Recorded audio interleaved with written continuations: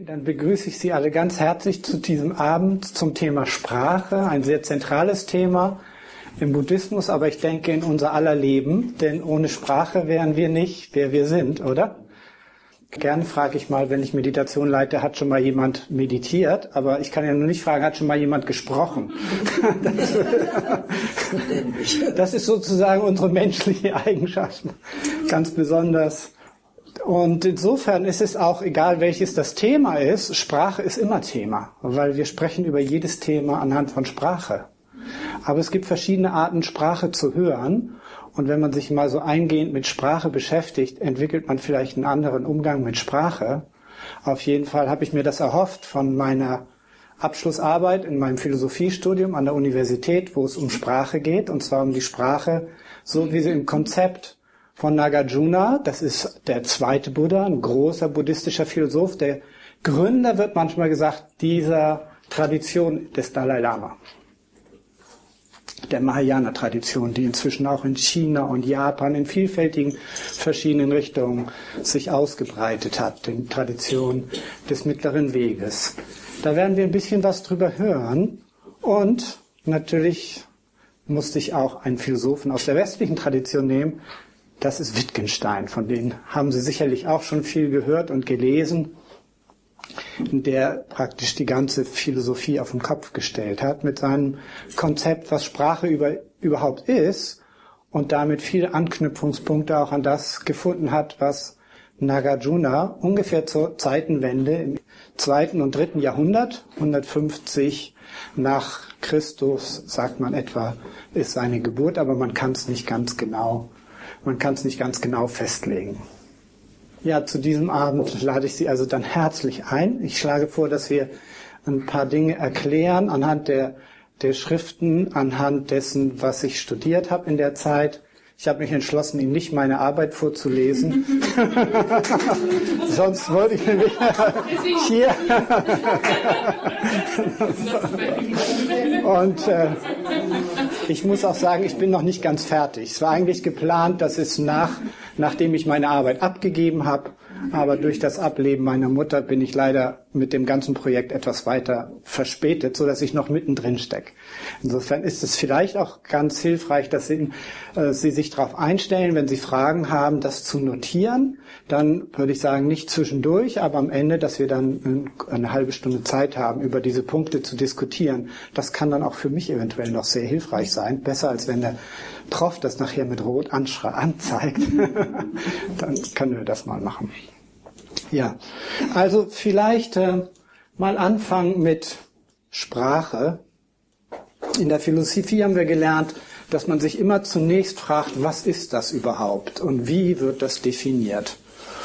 Und im Buddhismus lernt man, so wie man sich überlegt, was das ist und genauer hinschaut, findet man keine Antwort. Das sind zwei völlig verschiedene Herangehensweisen. Die einen glauben daran, was sie dann finden, und wenn sie nichts finden, dann machen sie was. Also zum Beispiel, man untersucht einen Wagen, ob es jetzt ein Wagen ist oder, äh, oder nur ein zusammengesetztes Ding aus Rädern und Motor und Fahrer und so weiter. Und wenn man dann den Wagen als solches nirgends findet, dann sagt man, okay, dann gibt es eine Essenz vom Wagen, sozusagen die Natur oder das Wesen des Wagens und das wird dann in eine eigene Welt projiziert, zum Beispiel die Welt der Ideen bei Plato oder bei Kant, die Welt an sich, wo die Dinge so sind, unabhängig davon, wie wir oder wie jeder sie betrachtet. Und der Buddha und Nagarjuna haben gesagt, nee, wenn ich da nichts finde, dann ist da auch nichts. Aber dann ist ja überhaupt kein Auto da. Das ist ja auch nicht richtig. Also muss es irgendwo einen Weg dazwischen geben. Das ist der mittlere Weg. Zwischen Sein und Nichtsein. Aber die frühen, der frühe Buddhismus, als Nagarjuna geboren wurde, gab es ja den Buddhismus schon etwa vier bis 500 Jahre. Der hatte den mittleren Weg so verstanden, dass das ein mittlerer Weg ist auf dem Weg zum Erwachen zwischen Askese und Schwelgen. Aber man kann das auch auf die Sprache beziehen, zwischen überhaupt nichts sagen und nur schweigen und schwelgen in Worten. Da gibt's auch einen mittleren Weg. Sonst würden wir heute diese Veranstaltung nicht geplant haben. Dann würden wir einfach eine stille Veranstaltung und dann würden wir alles in Schweigen machen. Denn diese Ebene, die wird sowohl von westlichen als auch von buddhistischen Philosophen immer wieder betont, dass es eine Ebene gibt, in der man keine Worte mehr findet, um sie auszudrücken, die Wirklichkeit, die man da findet. Und dann könnte man sich natürlich fragen, warum redet man dann überhaupt? Und das ist eben das Besondere, dass wenn man die Sprache benutzt, um darauf zu zeigen und die Fallstricke der Fälle, der, der Sprache überwindet oder erkennt, durchschaut und nicht drauf reinfällt, dass es dann das Beste ist, was wir haben. Sprache ist ein Segen und Sprache ist ein Fluch. Es kommt darauf an, was wir daraus machen.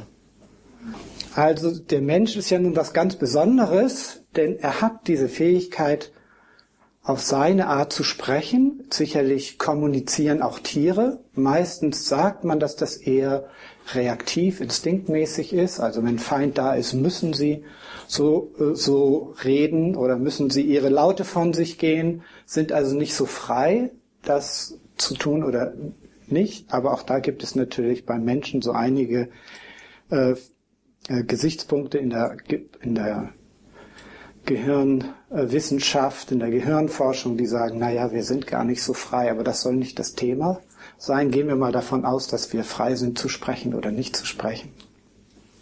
Aber wenn wir sprechen, und da kommen wir schon dem näher, was die Sprache ist, dann implizieren wir immer etwas, was gerade die Sprache ausmacht. Nämlich, dass die Dinge so sind, wie wir sie mit der Sprache ausdrücken können. Wenn wir zum laute Einzelfälle hätten, laute einzelne Blätter, laute einzelne Atome, laute einzelne Momente, laute einzelne Atemzüge, laute einzelne Dinge, dann gäbe es keine Sprache. Die Sprache ist, selbst wenn wir von konkreten Dingen sprechen, immer eine Abstraktion. Wenn wir von dem Stuhl sprechen, ist dahinter eine abstrakte Kategorie Stuhl. Nicken Sie mit dem Kopf oder schütteln Sie den Kopf? so, also okay, gut, dann müssen wir das ein bisschen erklären. Dann müssen wir das ein bisschen erklären. Also es soll ja verständlich sein. Die Sprache, die Tatsache, dass wir ein Wort benutzen, gibt eine Sache Dauer. Und Sprache während dieser Dauer verändert sich nicht. Also das Konzept, die Kategorie von Fenster, die ist jetzt noch die gleiche, wie wenn ich hier rübergehe und immer noch Fenster sage, hat sie sich nicht verändert. Sie ist sozusagen dauerhaft. Okay? Und Fenster impliziert auch immer etwas, was es abgrenzt von der Wand, von den Stühlen, was es anders ist. Und es erscheint uns so, als wäre es von seiner Seite aus Fenster. Wir können es gar nicht mehr anders wahrnehmen. Tatsächlich hat sich das Fenster verändert. Und wahrscheinlich gibt es Fenster, wo man nicht genau weiß, sind die nun so schmutzig, dass das schon als Wand gilt? oder sind die durchsichtig oder sind die aus Plastik? Und wenn das nicht Glas ist, ist das überhaupt Fenster? Und wenn so viel Wind durchkommt, ist das dann überhaupt Fenster? Das heißt, es gibt bei jedem Begriff solche Randbereiche, wo man nicht genau weiß, gehört das nun noch zu dieser Kategorie oder nicht. Und da muss ich sagen, war Wittgenstein sehr, sehr hilfreich. Er hat die Kategorie der Familienähnlichkeit entwickelt. Haben Sie davon schon mal was gehört? Also um diesem entgegenzukommen, den Gefahren, die lauern in der Sprache, nicht in dem, unter dem Gesichtspunkt, dass wir miteinander kommunizieren können. Das ist, dafür ist die Sprache wunderbar geeignet. Auch zum Singen und zum, bei den alten Veden bis zur Gezeitenwende war Sprache etwas Magisches bei Urvölkern. Durch die Sprache können wir etwas können wir etwas schaffen. Die Rituale waren dafür da, die Götter zu besänftigen. Und ich möchte nachher auch auf diesen Aspekt eingehen, der bei Nagarjuna auch sehr wichtig ist, dass Sprache auch eine Magie hat, etwas ins Leben zu rufen. Aber erstmal wollen wir verstehen, warum die Sprache, so wie wir sie allgemeinhin verstehen, nämlich deutsche, englische, französische Sprache, wie viele Sprachen gibt es wohl auf der Welt? Ohne die Dialekte, nur Sprachen.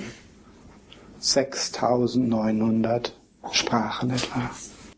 und ungefähr 3000 davon sind vom Aussterben bedroht. Das ist natürlich sehr schade. Bald wird es dann eine so universelle Sprache geben, die ist wahrscheinlich Englisch. Also die Sprache hat diese Eigenschaft, dass sie die Dinge in Kategorien trennt und damit die Tendenz unterstützt, alles als isolierte Gegenstände wahrzunehmen und als eigene Kategorien. Und zwar in dem Grade, dass es unser Denken prägt. Diese Fähigkeit des Menschen, Dinge zu benennen und in Kategorien zu teilen und dann die begreifbar zu machen und wissenschaftlich erforschbar und so weiter, unterscheidet den Mensch grosso modo vom Tier. Und darin liegt auch die große Gefahr, weil die Wirklichkeit ja deswegen nicht mit mal anders geworden ist, bloß weil in den letzten, weiß ich nicht, eins, zwei Millionen Jahren oder so die Menschen dahergekommen sind und den Dingen Namen gegeben haben. Und schon die alten Griechen wussten, dass die Namen nicht aus den Dingen kommen. Die wussten, dass es ähm, verschiedene Möglichkeiten gibt, die Dinge zu bezeichnen. Und alles, was sie nicht verstanden haben, das waren dann die Barbaren. Die haben irgendwas gesagt, was keinen Sinn macht. Nur das Griechische, das Logos, das hat Sinn. Und tatsächlich ist so eine gewisse Tendenz immer die eigene Sprache als die richtige zu betrachten bis heute so weit verbreitet in der Welt. Wir haben eine ganz besondere Assoziation zur Muttersprache und sehen die Welt so, wie wir sie eigentlich im Mutterbauch schon kennengelernt haben und gehört haben. Das ist durch viele Forschungen nachgewiesen, dass äh, die Sprache nicht nur jede einzelne eigene Frequenz hat, eigene Muster haben, die Tomatis identifizieren konnte. Es gibt Schwerhörige, die nur für eine bestimmte Sprache schwerhörig sind. Das muss man sich mal vorstellen. Das ist ein ganz bestimmtes Spektrum, was nicht funktioniert. Sondern jede Sprache zeigt uns auch die Welt auf eine bestimmte Art und Weise. Jede Sprache hat verschiedene Schwerpunkte. Mehr Melodie, mehr, weniger Melodie oder hat in bestimmten Bereichen, zum Beispiel auch wenn man irgendwo auf Polynesien soll es 200 Worte für Blau geben und wo 200 Worte für Schnee, bei den, bei den Eskimos und bei den Brasilianern 100 verschiedene Worte für Flirten und haben mir meine Töchter verraten.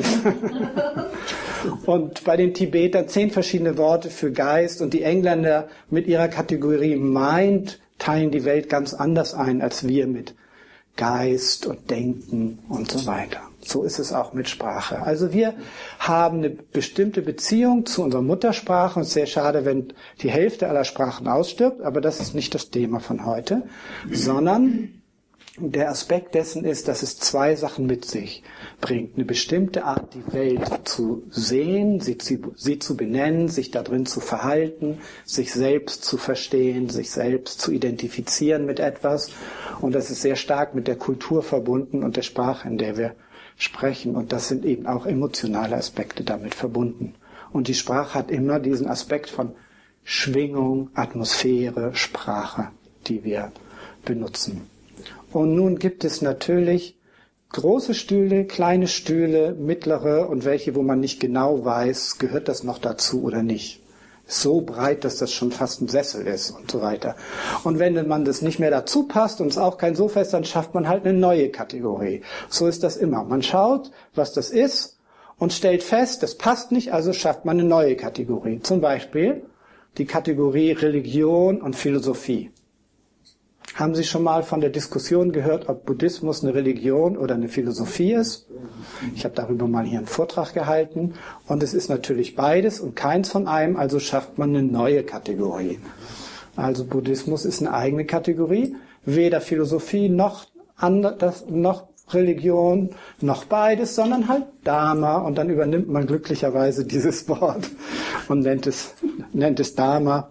Aber gnoseologische, es gibt noch einen Philosophen, der eine eigene Kategorie für Buddhismus entwickelt hat. Gnoseologie.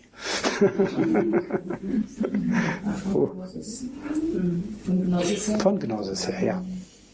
Okay, so ent entsteht das und so entwickelt dann aus, aus ganz paar ursprünglichen Worten wie Mama, Papa entwickelt sich dann so ein Baum und der kriegt ganz viele Früchte und ganz viele Blätter und der Geist hört nie auf und diese Entwicklung, die nennt man Prapanka. Immer mehr entfaltet sich das. Das geht immer weiter. Es wächst immer weiter. Egal wie tief Sie irgendeinen Begriff untersuchen, Sie werden Unterschiede feststellen und nachher werden Sie wieder zwei Kategorien oder drei daraus machen. Und allmählich kommt der Geist überhaupt nicht mehr zur Ruhe. Wenn man das mit der, mit der funktionellen Gehirntomographie untersucht, ist unglaublich, was da los ist. Wir werden nachher ein paar Bilder davon sehen. Und das bringt natürlich Leiden mit sich, weil man nicht mehr ganz bei sich ist. Und die Philosophie von Nagarjuna ist ganz deutlich, wenn wir unsere Konzepte wieder zur Ruhe bringen, dann hört das Leiden auf. Wenn wir diesen Prozess sozusagen rückgängig machen. Und das können wir nicht, indem wir einfach sagen, halt stopp, hör auf mit, mit Denken und mit Sprache, sondern wir benutzen die Sprache, um in diese Richtung zu zeigen. Und dafür hat er sogar ein eigenes Wort entwickelt. Und das ist interessant, weil dieses Zeigen durch die Sprache auf wieder das, was eigentlich ganz natürlich das Leben und die Welt ist, nämlich lauter gegenwärtige Momente, einmalige Gelegenheiten. Die ist immer gleichzeitig mit dem Schleier, den wir über die Dinge schieben, das ist die, der sprachliche Schleier. Und es ist nicht mal die Sprache insgesamt, die das Problem ist, sondern das Problem ist nur, dass mit der Sprache immer gleichzeitig suggeriert wird, die Dinge seien Kategorien, die Dinge seien getrennt, die Dinge seien von sich aus existent. Das ist das sogenannte Swabhava, das Eigenwesen. Die Dinge erscheinen durch die Sprache mit Eigenwesen. Und nur diesen Aspekt gilt es aufzulösen und zu zeigen, dass das Leben oder die Wirklichkeit, die Wahrheit nicht so ist. Wir müssten also, ist so meine Fantasie, eine Sprache entwickeln, in der wir auch sprechen können und immer sagen, ja, Stuhl, aber ich meine jetzt nicht so die Kategorie Stuhl, sondern einfach nur diesen Stuhl, so wie mit einer Geste auf jedem etwas zeigt. Aber die Sprache ist eben so, dass sie immer diese Kategorien hat. Und das sind nicht nur in, in nur germanischen Sprachen, die in Subjekt, Objekt und Verb unterteilen, sondern das gilt selbst für bildhafte Sprachen wie Chinesisch und Japanisch. In einigen Details gibt es da allerdings Unterschiede. Zum Beispiel das Ich was ja auch so eine isolierte Kategorie von dem Rest der Welt ist, wie Sie wissen. Oder? Oder? Ist jemand anderer Meinung? Okay, also bei den Japanern, in der japanischen Sprache ist es so, dass das Ich immer ein Wir ist. Jedes Ich kann man in der Sprache nur ausdrücken als aus einer Beziehung. Ich-Beziehung würde man vielleicht sagen können. Jedes Ich ist nicht so, dass da erst ein Ich ist, was in Beziehung mit dem anderen Ich ist, sondern aus der Beziehung entstehen diese beiden Ichs. Das ist fast schon in der Sprache angewendetes abhängiges Entstehen. Und dieses abhängige Entstehen ist auch die Kernphilosophie des mittleren Weges. Wenn man immer danach sucht, was ist etwas, wird man nichts finden, es sei denn, man benutzt Sprache. Also hängen die Dinge auch von unserer Sprache ab. Und unser Gehirn, unsere Art zu denken, hängt von unserer Sprache ab. Also man spricht von ähm, Sprachdenken. Haben Sie das Wort Sprachdenken schon gehört? Manchmal haben wir ja so einen Eindruck, da sind meine Gedanken und dann kann ich darüber reden. Und das eine hat mit dem anderen nichts zu tun. Ne, so wie als hätte das, was ich ausatme, nichts damit zu tun, was sie einatmen. Das ist natürlich Unsinn. Die beiden sind eng miteinander verbunden, aber sprachlich schaffen wir da wieder zwei Kategorien. Beim alten Platon war das noch eine Kategorie. Bei Aristoteles waren es schon zwei. Und so ging es weiter. Seit zweieinhalbtausend Jahren.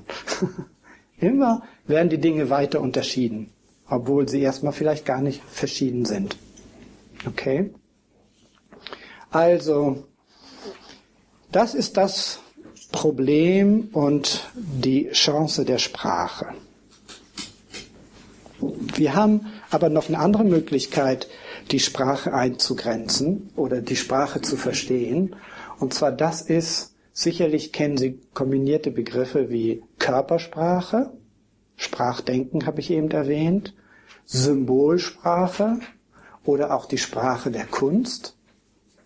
Kann die Kunst was mitteilen? Was ist Ihre Meinung? Und eventuell nicht sprachlich? Also manchmal ist es dann schwer, das in Worte zu fassen oder so etwas.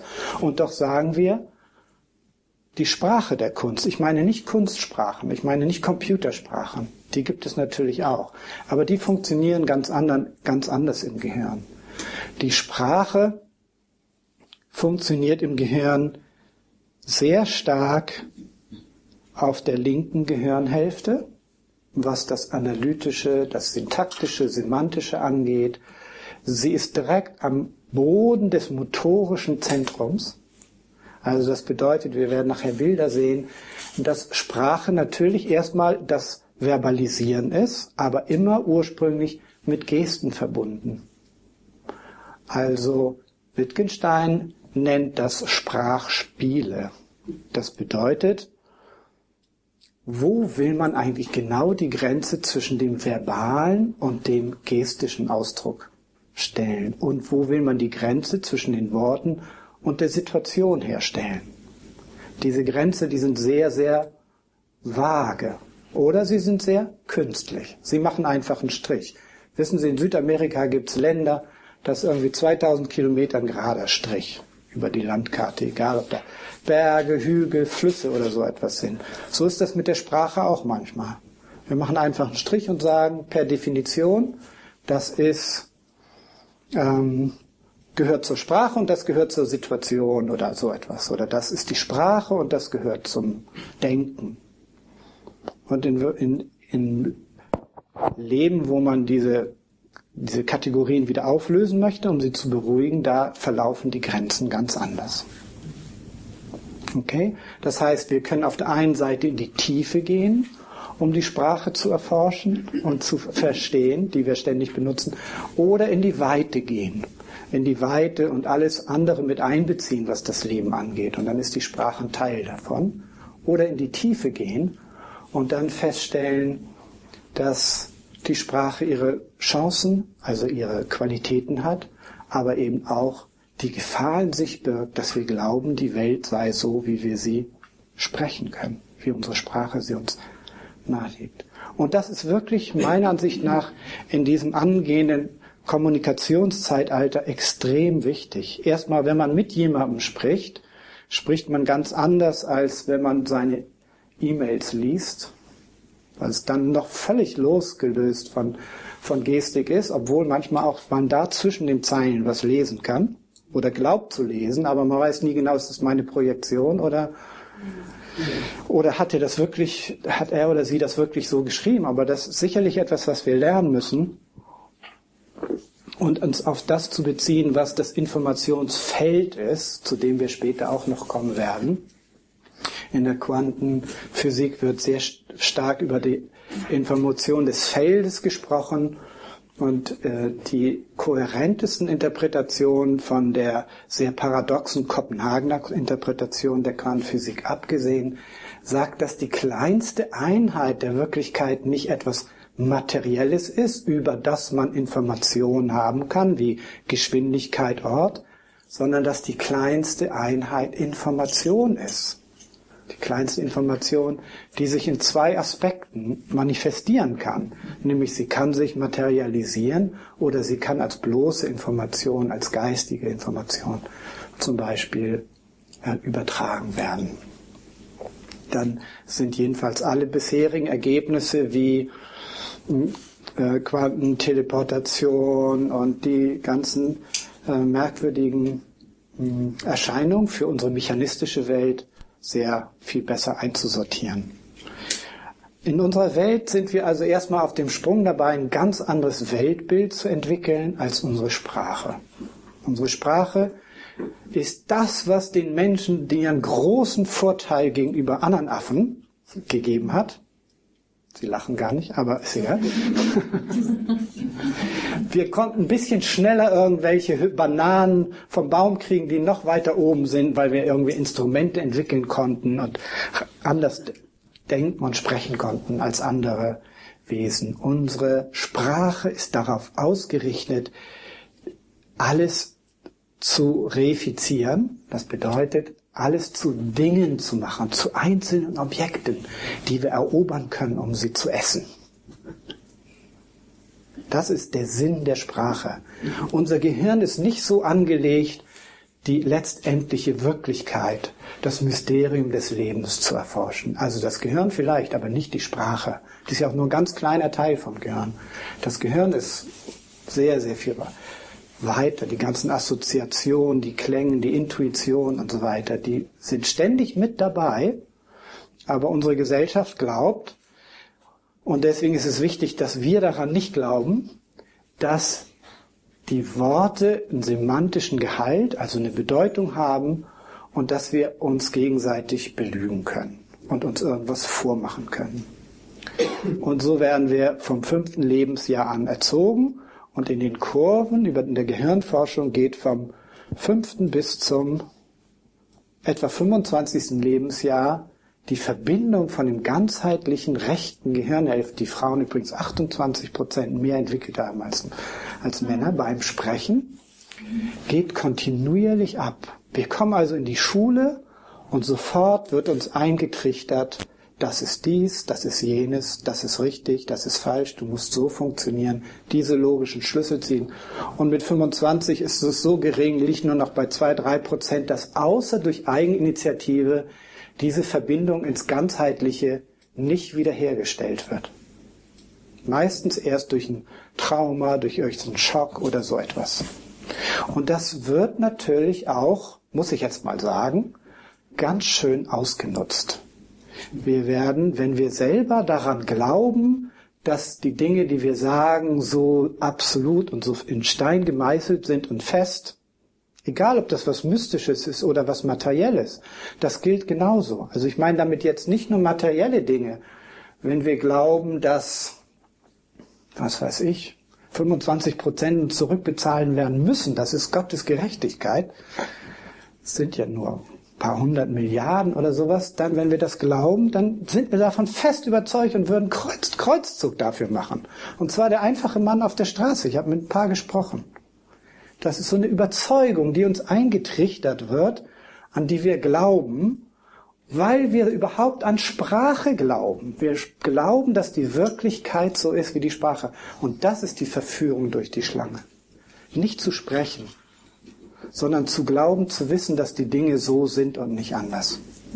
Das ist also in allen, in vielen Kulturen angelegt und wird natürlich von großen Ministerien, Geheimdiensten und was weiß ich richtig auch ausgenutzt. Also heutzutage ist es, ich habe so ein interessantes Public Opinion Buch von Littmann gelesen, 1921 geschrieben, da hat er geschrieben, wie manipuliert man die öffentliche Meinung am besten.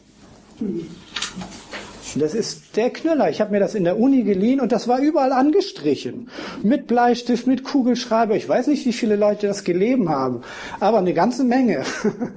Also jedenfalls öfter als die Bücher von Nagarjuna. Die sind doch völlig unversehrt. Okay. Das scheint die Leute sehr zu interessieren. Und es gibt tatsächlich in den USA und Moskau ist es be bekannt, ich habe jetzt den Namen irgendwo hier stehen, ähm, Ministerien, die gegründet sind dafür, dass die Public Opinion in eine bestimmte Richtung gelenkt wird. Und das müssen wir uns mal richtig auf der Zunge zergehen lassen, solange wir an Sprache glauben unter diesem verführerischen Aspekt, dass die Wirklichkeit so ist, wie uns das nahegelegt wird, werden wir immer drauf reinfallen. Also wir stellen unseren eigenen Schalter in die Richtung und dann sind wir anfällig. Das Einzige ist, wenn wir bei uns anfangen, das zu durchschauen und was zu verändern, wenn wir versuchen, anders zu sprechen, in den Worten nicht zu sagen, das ist aber so. Irgendwo schleicht sich das bei jedem rein. Ich würde jetzt am liebsten auch so darüber sprechen können, dass sie denken, ja, das ist halt entstanden, historisch und, und so weiter und so fort. Ähm, aber es ist natürlich nicht auf ewig und auf Dauer so. Das merken wir nur meistens nicht, weil wir leben ja nur eine begrenzte Zeit. Okay, also dieser Aspekt, würde ich sagen, ist tatsächlich ein Appell für uns, uns mit der Sprache zu beschäftigen und immer mal wieder Pause zu machen, Computer, Retreat, Computer-Retreat oder E-Mail, Handy-Retreat oder einfach mal in, in Dharamsala war während dem Retreat kein Radio, kein Fernsehen, mussten wir alles ausmachen und dann Retreat machen. Das ist so ein Segen, weil eigentlich kommuniziert die Natur ständig mit uns. Wir sind mitten im Leben und die Natur ist der beste Lehrmeister, den man sich vorstellen kann. So, das war jetzt die Einleitung. Ich wollte einfach mal sagen, worum es geht heute bei uns. Es gehen soll bei diesem Vortrag. Okay. Wie bitte? ja.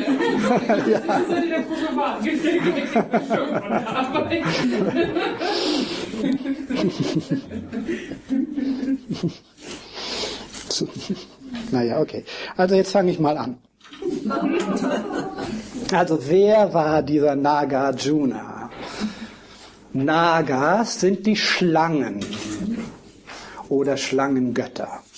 Und Arjuna ist eine mystische Gestalt, die Sie aus der Bhagavad Gita kennen, aus der Mahabharata.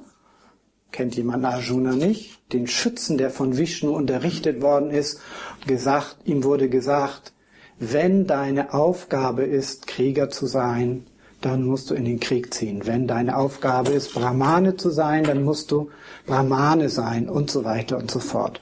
Und er hat wirklich Schwierigkeiten, weil er nicht Krieger sein will, aber es ist sein Karma und deswegen sagt man, auch dann ist es göttlich. Also wir müssen uns nicht immer alles, würde ich daraus schließen, konzeptuell zurechtlegen. Es ist gut, wenn wir Werte und so weiter haben, aber die sollen nicht zu Dogmen werden, womit wir nachher vielleicht gegen uns selber handeln, das tun, was von uns erwartet wird und dann sagen, wir sind doch gute moralische Menschen.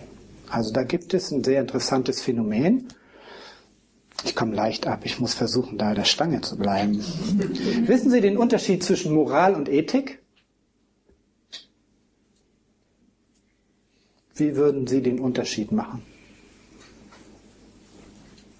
Würde sagen, die Ethik ähm, beschäftigt sich mit dem Thema, wie wir ähm, was gutes Handeln ist oder was sinnvolles, heilsames Handeln ist. Und Moral ist die ähm, Art, wie sozusagen sich innerhalb der Kulturen dann diese eine bestimmte Ethik im praktischen Handeln zu tragen kommt oder in bestimmten Grundsätzen äh, kulturellen, gesellschaftlichen Gewohnheiten und Denkweisen. Also so ja, ungefähr. Das hat der Bruckhaus auch nicht besser gesagt. das ist sozusagen die offizielle Version. Beides kommt von, von derselben Quelle Sittlichkeit. Das eine kommt aus dem Latein, äh, Moral kommt aus dem Latein, Mors, Mors, und das andere Ethik kommt aus dem Griechischen. Also beides bedeutet Sitte, Gepflogenheit in einer bestimmten Gesellschaft. Nur waren die griechische Gesellschaft völlig anders als die römische Gesellschaft. Wenn Sie die Griechen kennen, das waren lauter freie, freie Kleinstaaten und die wollten vor allen Dingen frei sein, Philosophen sein. Während Rom, alle Wege führten nach Rom, da war eine große Autorität, Expansionsstreben, die wollten die ganze Welt unterwerfen und alle hatten sich nach bestimmten Normen zu richten. Das heißt, beides deutet auf Sitte und man sagt, beide sind synonym bedeuten das Gleiche, aber da sie einen völlig anderen Ursprung haben, wurde dann gesagt, okay, das Ethische ist mehr das Reflektieren über die Moral und Moral ist, wie man dann handelt. Und den Leuten wie den Philosophen, die darüber reflektieren, passt das ganz gut, weil Ethik hat so was Edles und Moralapostel sind so ein bisschen unterdurch. Früher im Mittelalter war das ganz anders, aber jemand, der moralisch handelt, ist so einer, der sich irgendwie nach den zehn Geboten richtet und so weiter, obwohl er auf was ganz anderes Lust hat. Ethisch hingegen ist jemand, der sich selber fragt, wer er ist und aus seinem tiefsten Wesen heraus sozusagen authentisch und weise und in Umsicht auf alles handelt. Und tatsächlich habe ich in den Internetforen mal untersucht, wie so, was meint Wittgenstein mit Gebrauch? Wie wird es halt Gebrauch in den Foren?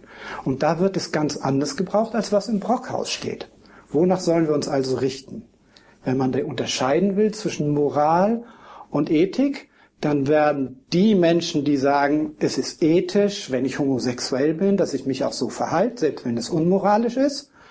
Und die Ethik, die sagt, nein, es geht darum, darüber nachzudenken. Wir sind die Professoren und die Ethikkommission und wir wissen, wie ihr euch moralisch zu verhalten habt.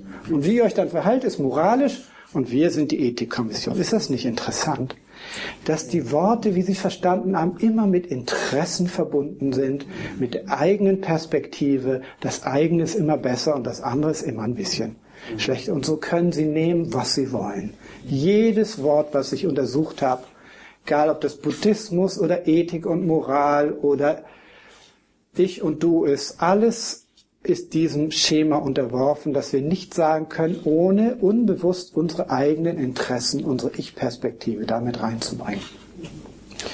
Und nur wenn wir das bei uns auflösen, ist meine Ansicht, können wir es verhindern, darauf reinzufallen, wenn andere das machen. Wenn wir die Projektion der Sprache durchschauen, das ist die Botschaft von Nagarjuna und von Wittgenstein, dann sind wir auch weniger anfällig auch für Projektion religiöser oder philosophischer oder äh, machtmächtiger oder die Projektion einfach der Umwelt drauf reinzufallen. Wir müssen deswegen nicht aufhören zu sprechen, aber wir müssen anders, mit einem anderen Bewusstsein sprechen, um daran nicht drauf reinzufallen. Okay? Können Sie dem, können Sie dem folgen? Okay. Das was hat das mit den Nagas zu tun? Warum war das was Besonderes des, der, des Nagarjuna? Es war in der Zeit zur Zeitenwende entstand eine neue soziale Gegebenheit, ein neuer Geist überall, im Westen wie im Osten, in der Philosophie, aber auch in Indien, der später zum Mahayana geführt hat. Und man fragte sich, muss Sprache wirklich immer so auf etwas zeigen. Also die Argumentation war so bis dahin in Indien, wenn es ein Wort gibt, gibt es auch was.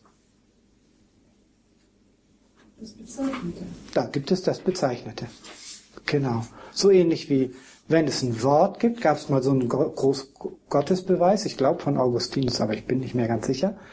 Wenn ich das Wort oder hat es Descartes? Ich muss noch mal Schulbank drücken. Aber jedenfalls, ungefähr ging das so, wenn ich das Gott denken kann, muss es Gott geben. Und dann kann man auf dieses Wort Gott natürlich alles projizieren. Kein Problem, dass es Gott gibt, aber ist die Tatsache, dass ich es denken kann oder ein Wort habe, ausreichend als Begründung? Diese Fragen man, stellten sie sich zur, zur ja, also zur Zeitenwende, wie, wie man das nennt, in Indien, genauso wie hier im, im Osten. In der Zeit entstand die Prajnaparamita, die zum ersten, die Vollkommenheit der Weisheit im ersten Jahrhundert nach Christus sind die ältesten Schriften, in der es heißt, nein, so ist das nicht. Und bloß weil es ein Wort gibt, muss es nicht etwas anderes geben. Die Dinge sind leer davon, dass es irgendetwas Wesenhaftes gibt, unabhängig vom Wort. Und diese Leerheit, die die Buddhisten gut kennen, bedeuten immer leer davon, ein Eigenwesen, so wie es die Sprache naheliegt zu haben. Das war gerade diese Gezeitenwende. Und Nagarjuna hat das dann ganz wunderbar begründet.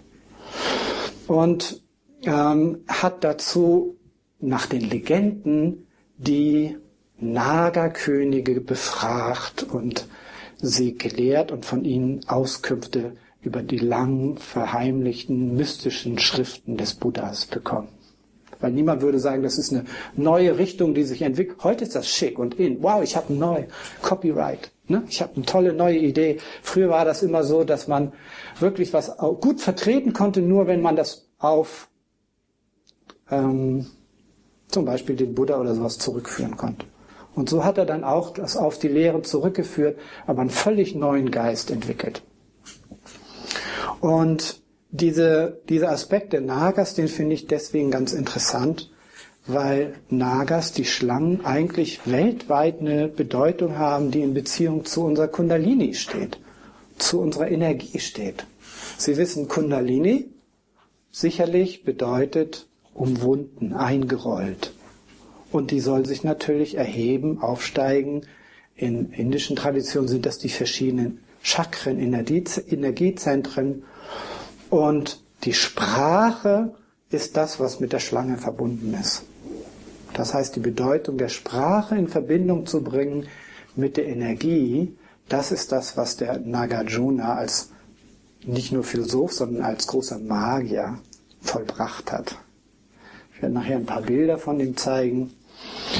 Aber diesen Aspekt kennen, glaube ich, viele von uns, dass wenn wir, also ich vermute, dass Frauen das noch viel besser können als wir, als, als wir Männer es gelernt haben, oder Musiker oder Menschen, die sich dem öffnen, dass in der Sprache immer irgendetwas anderes mittransportiert wird, was mit, mit der Stimme, Stimmung, Atmosphäre, Energie, etwas, was sich sozusagen dem konkreten Zugriff entzieht und was bisher auch nur ansatzweise wissenschaftlich sozusagen nachgewiesen ist. Natürlich gibt es Frequenzen und solche Messungen und aber richtig was Aura und so weiter bedeutet, wird in vielen Fällen angezweifelt.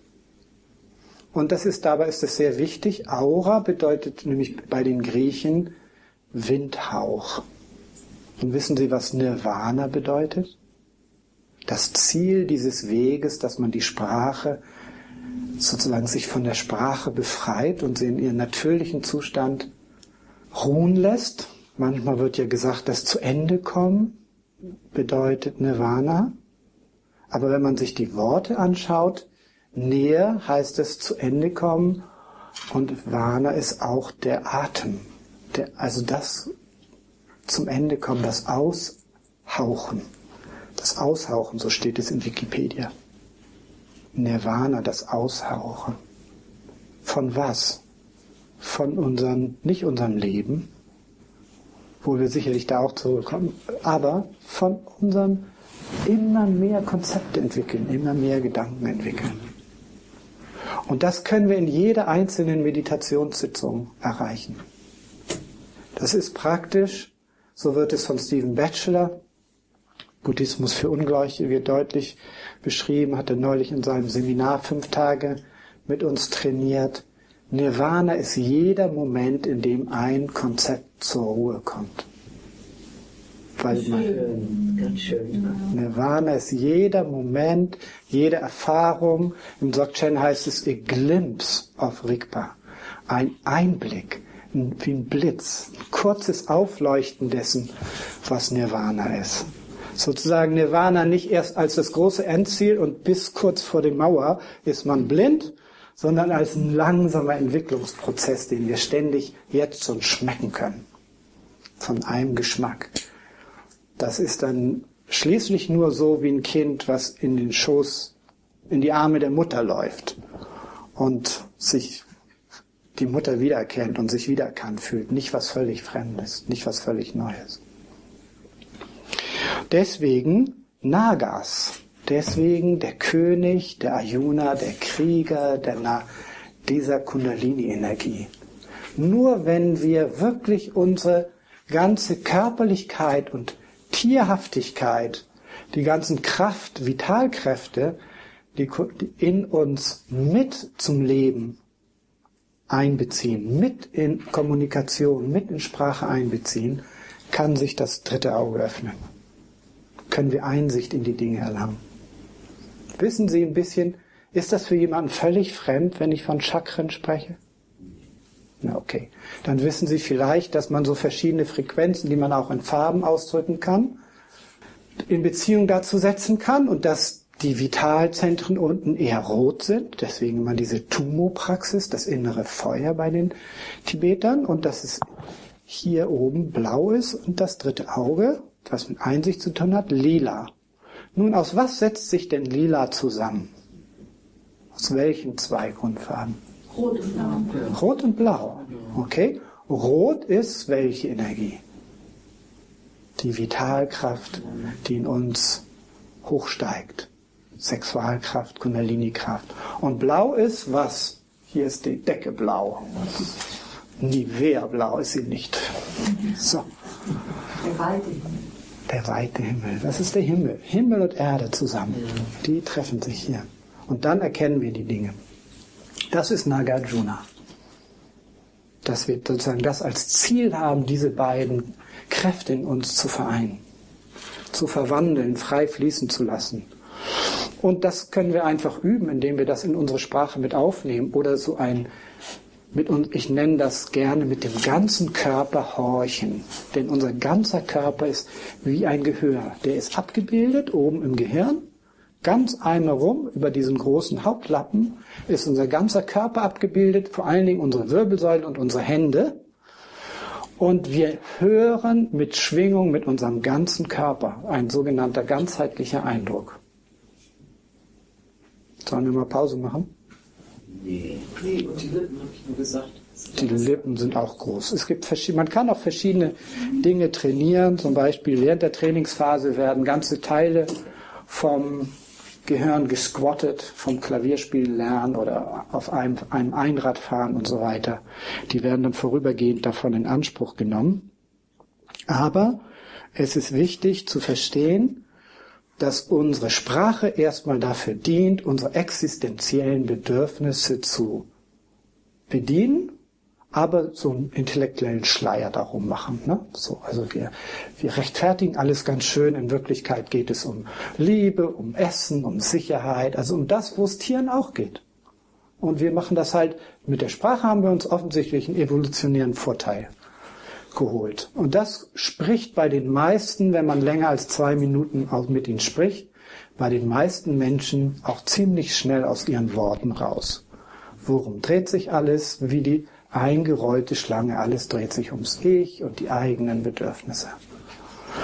Und dann entwickelt sich allmählich dieses Loslassen vom Ich und man erkennt, es geht nicht alles nur darum, bis man völlig selbstlos handeln kann. Und ich finde es sehr schön, wenn es dann im Pragmatischen letztendlich die verschiedenen Philosophien, so schreibe ich das in meiner Schlussbemerkung, wieder das auf selbe hinauslaufen, weil ob da ein guter Christ ist, der ganz selbstlos ins Wasser springt, um einen Ertrinkenden zu, zu retten, oder ob da einfach ein Buddhist ist, der so und so schon selbstlos ist und ins Wasser springt, um zu retten, das ist eigentlich dem, der gerettet wird, völlig egal.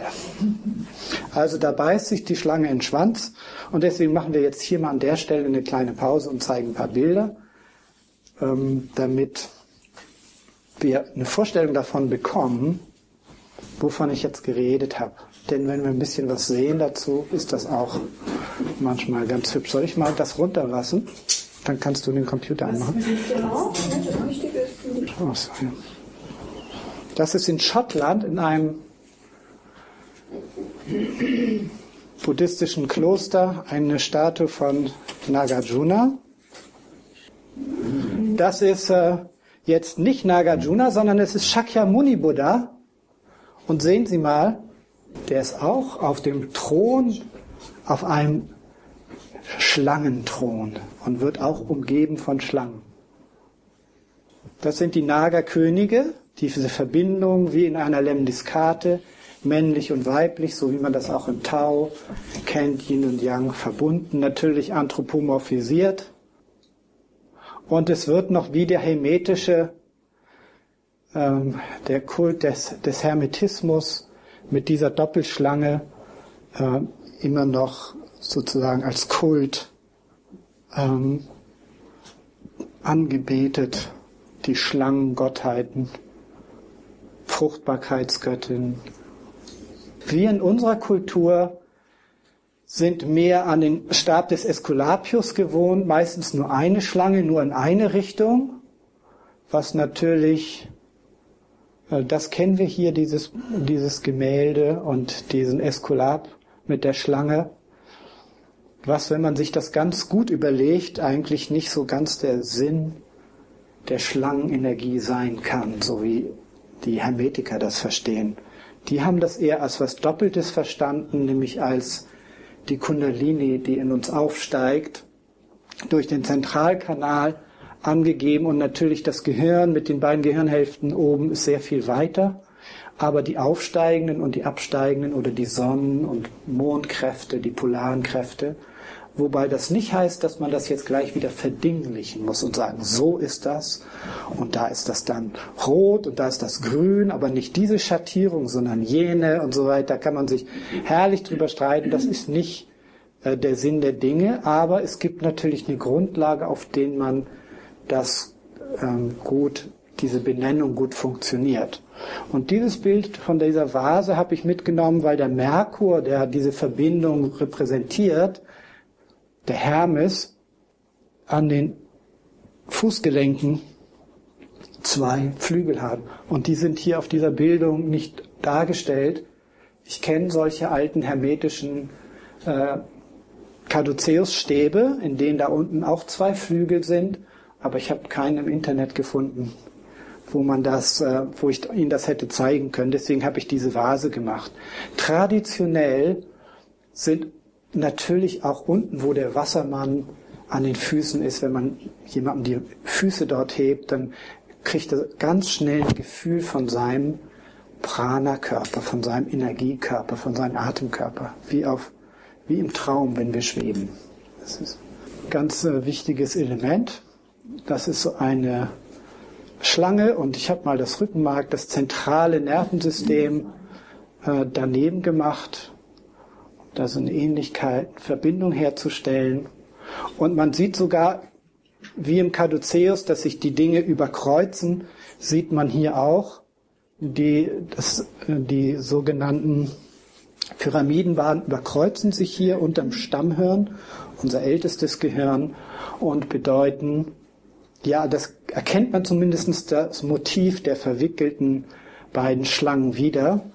Es ist die, die Lateralität rechts und links, die wird überkreuzt und auf der Ebene der Hüfte, wo das zentrale Nervensystem beginnt, findet nochmal ein Lateralitätswechsel vorn und hinten statt.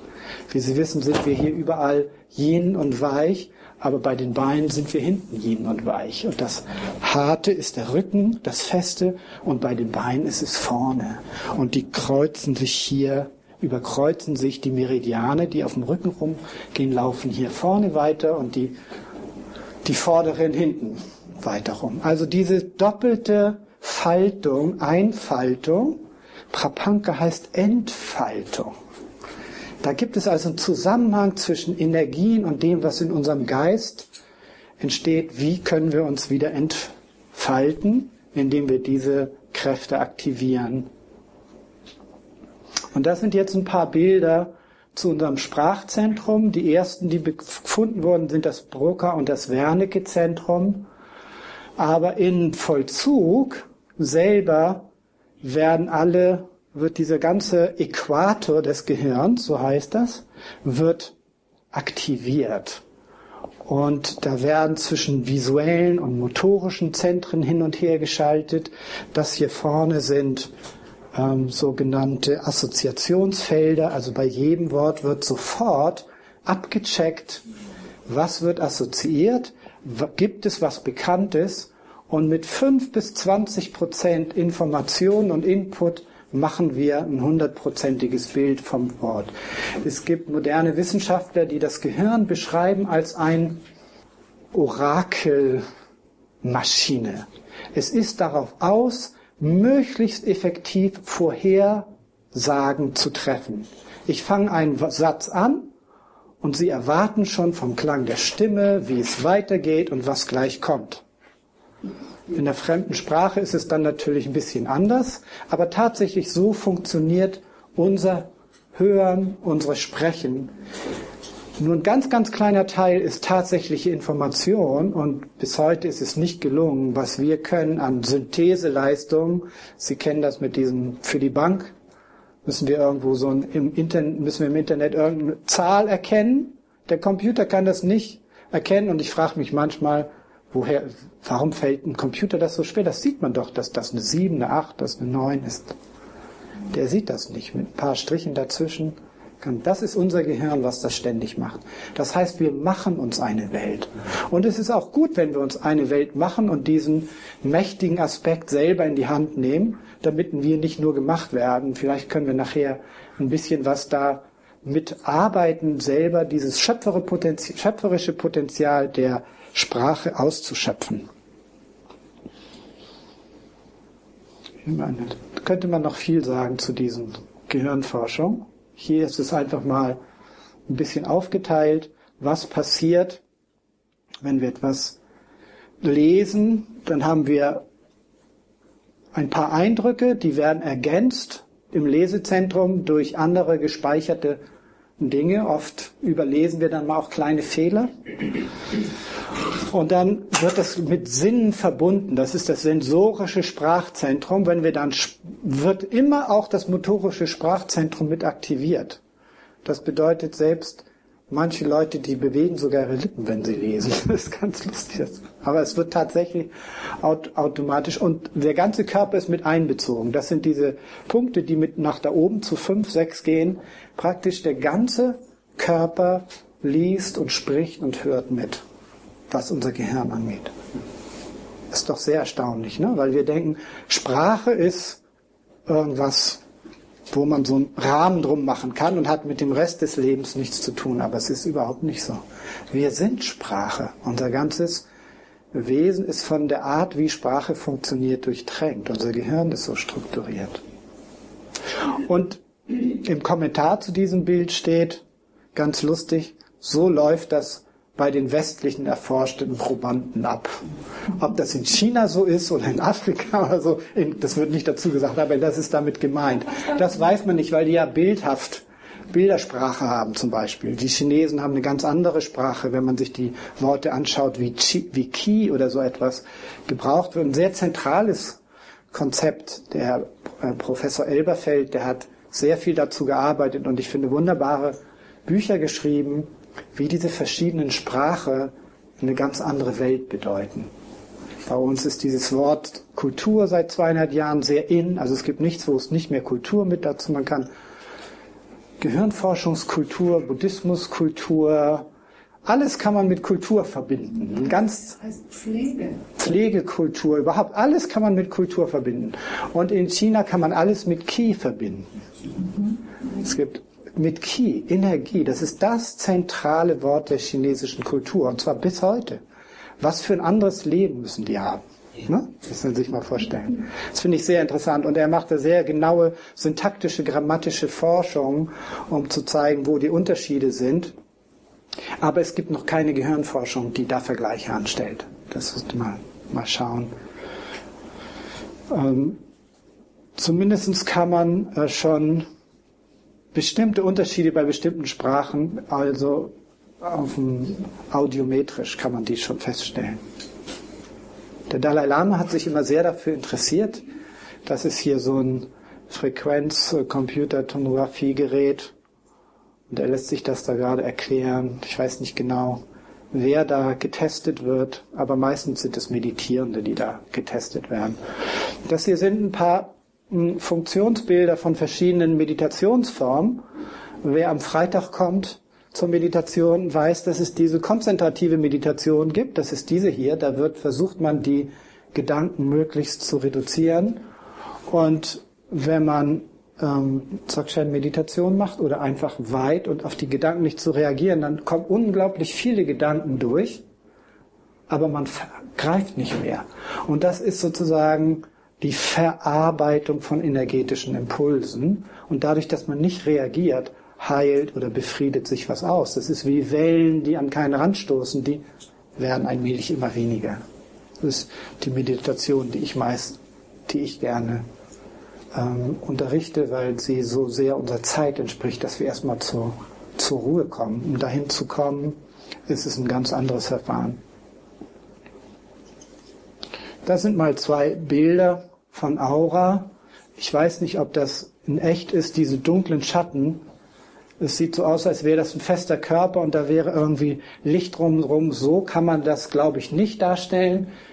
Ich erinnere mich an eine ein Bild, was ich gemalt habe, als ich irgendwie in der ersten Klasse war, sollten wir ein Selbstbild malen und ich habe mich als Regenbogen gemalt. Aber da war nichts dunkel. Aber so ist eigentlich, so empfinde ich mich eigentlich immer noch, eher wie so ein Lichtquelle oder wie so ein Energiefeld. Und das ist, ähm, glaube ich, da im zweiten Bild schon ein bisschen besser ausgedrückt. Guya Samaja, das ist der König des Tantras. Das ist die Praxis, die ähm, Nagarjuna ganz besonders intensiv praktiziert hat, zu der er viel gearbeitet hat und der, in der diese ganzen feinstofflichen Dinge sehr ausführlich dargelegt werden sind, worden sind. Ich habe einfach gedacht, man kann heute überall tibetische Tankas sehen, dann kann ich das auch hier mal zeigen. Das ist im alten Tibet natürlich eigentlich ein geheimes Bild, was nur als Meditationsobjekt gilt. Also der männliche Aspekt, der ist ein Symbol von, von Mitgefühl, Praxis und der weibliche Aspekt von Weisheit, um das es hier geht, Shunyata. Der Gegenpol, den sehen wir auch hier draußen, also von hier aus, wo ich spreche, sehe ich das an der Stupa. Das ist der Garuda-Vogel. Der Garuda-Vogel ist sozusagen der Schützer der Ethik oder des Samayas und der hält diese Schlangen in, in seinen Fängen. Deswegen wird der oft assoziiert, wenn wir anfangen mit Kundalini zu arbeiten, mit Energie zu arbeiten.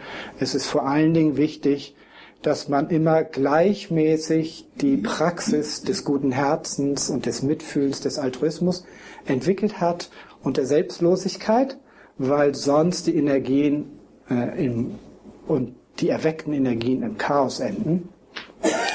Ähm, und deswegen ist er hier auch über der Buddha-Statue direkt oben da in diesem gelben Rand, können Sie nachher mal vorbeigehen, da ist der Garuda, der hält diese beiden Urkräfte, die ochtonischen Kräfte, wie sie manchmal heißen, aus der Tiefe des Erdinnerns kommen. Unsere Lebenskraft, die hält er sozusagen, im, hat er im Griff. So, das war jetzt eine kleine Showeinlage. Ach ja, vielleicht, ich wollte gerne mal was erzählen. Diese Kräfte hangen sehr stark mit Alchemie zusammen. Also man sagt, dass der Nagarjuna ein großer Alchemiker war und Patanjali war auch ein großer Alchem Alchemist. Und ich hatte mal ein Stück Merkur von einem, aus einem Alchemielabor aus Indien. So groß ungefähr.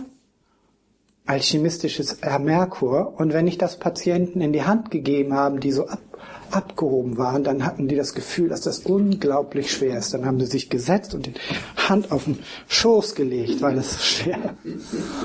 Und wenn jemand so ein richtig so ein down to earth war, dann hat er gesagt, oh, was? Und dann hat er es nicht halten können. Das ist ihm weggeflogen. Merkur, so widersprüchlich können die Sachen sein. Das finde ich toll, dass Alchemisten sowas schaffen. Und das wird eben auch von Nagarjuna berichtet, dass er es geschafft hat, Eisen zu verwandeln in, in Gold. Das bedeutet natürlich, die ganzen Eisen ist das Element des Kriegers, Ayuna, der Krieger. Es kann auch alles nur symbolisch sein, das weiß ich nicht. Aber er hat es geschafft, diese kriegerischen Kräfte in Gold zu verwandeln, in strahlendes Licht. Vielleicht bedeutet das Verwandeln von Blei auch lediglich, dass wir unseren trägen Saturn ein bisschen in, zu Licht verwandeln. Naja, wenn man dann so eine Arbeit schreibt und das liest, es ist alles wunderschön, aber wir sind so gewohnt, ein Philosophietraktat, ähm, These, Begründung, gute Argumente und eine Schlussfolgerung. So hat der Nagarjuna überhaupt nicht geschrieben. Mhm. Denn in der damaligen Zeit, da hatten die Leute noch, was hatten die damals noch? Was will ich jetzt gleich sagen? Köpfchen, genau. Die konnten sich alles merken.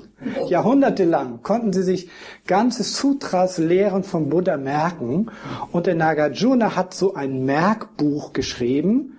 Das ist sozusagen memotechnisches Hilfswerk. Wenn diskutiert wird, dann wusste er immer, konnte er sich immer auf die Stellen bezogen. Und da sind auch Verse, wo die Gegner sozusagen, seine philosophischen Gegner zu Wort kommen und danach gereimt, wie die reinste Musik hatte sich dann die ganzen philosophischen Argumente. Also ich stelle mir eine, eine Gedichtphilosophie vor, das wäre wunderbar. Und ich habe ein bisschen, nicht so viel Sanskrit gelernt, aber ich denke, ich lese Ihnen mal die ersten Verse vor. Weil es ist einfach wenn Sie die ganzen Bücher lesen, die hier in der Bibliothek steht, wo es um Leerheit und das alles gibt, das hört sich alles so deutsch an. Und Deutsch ist eine wunderbare Sprache.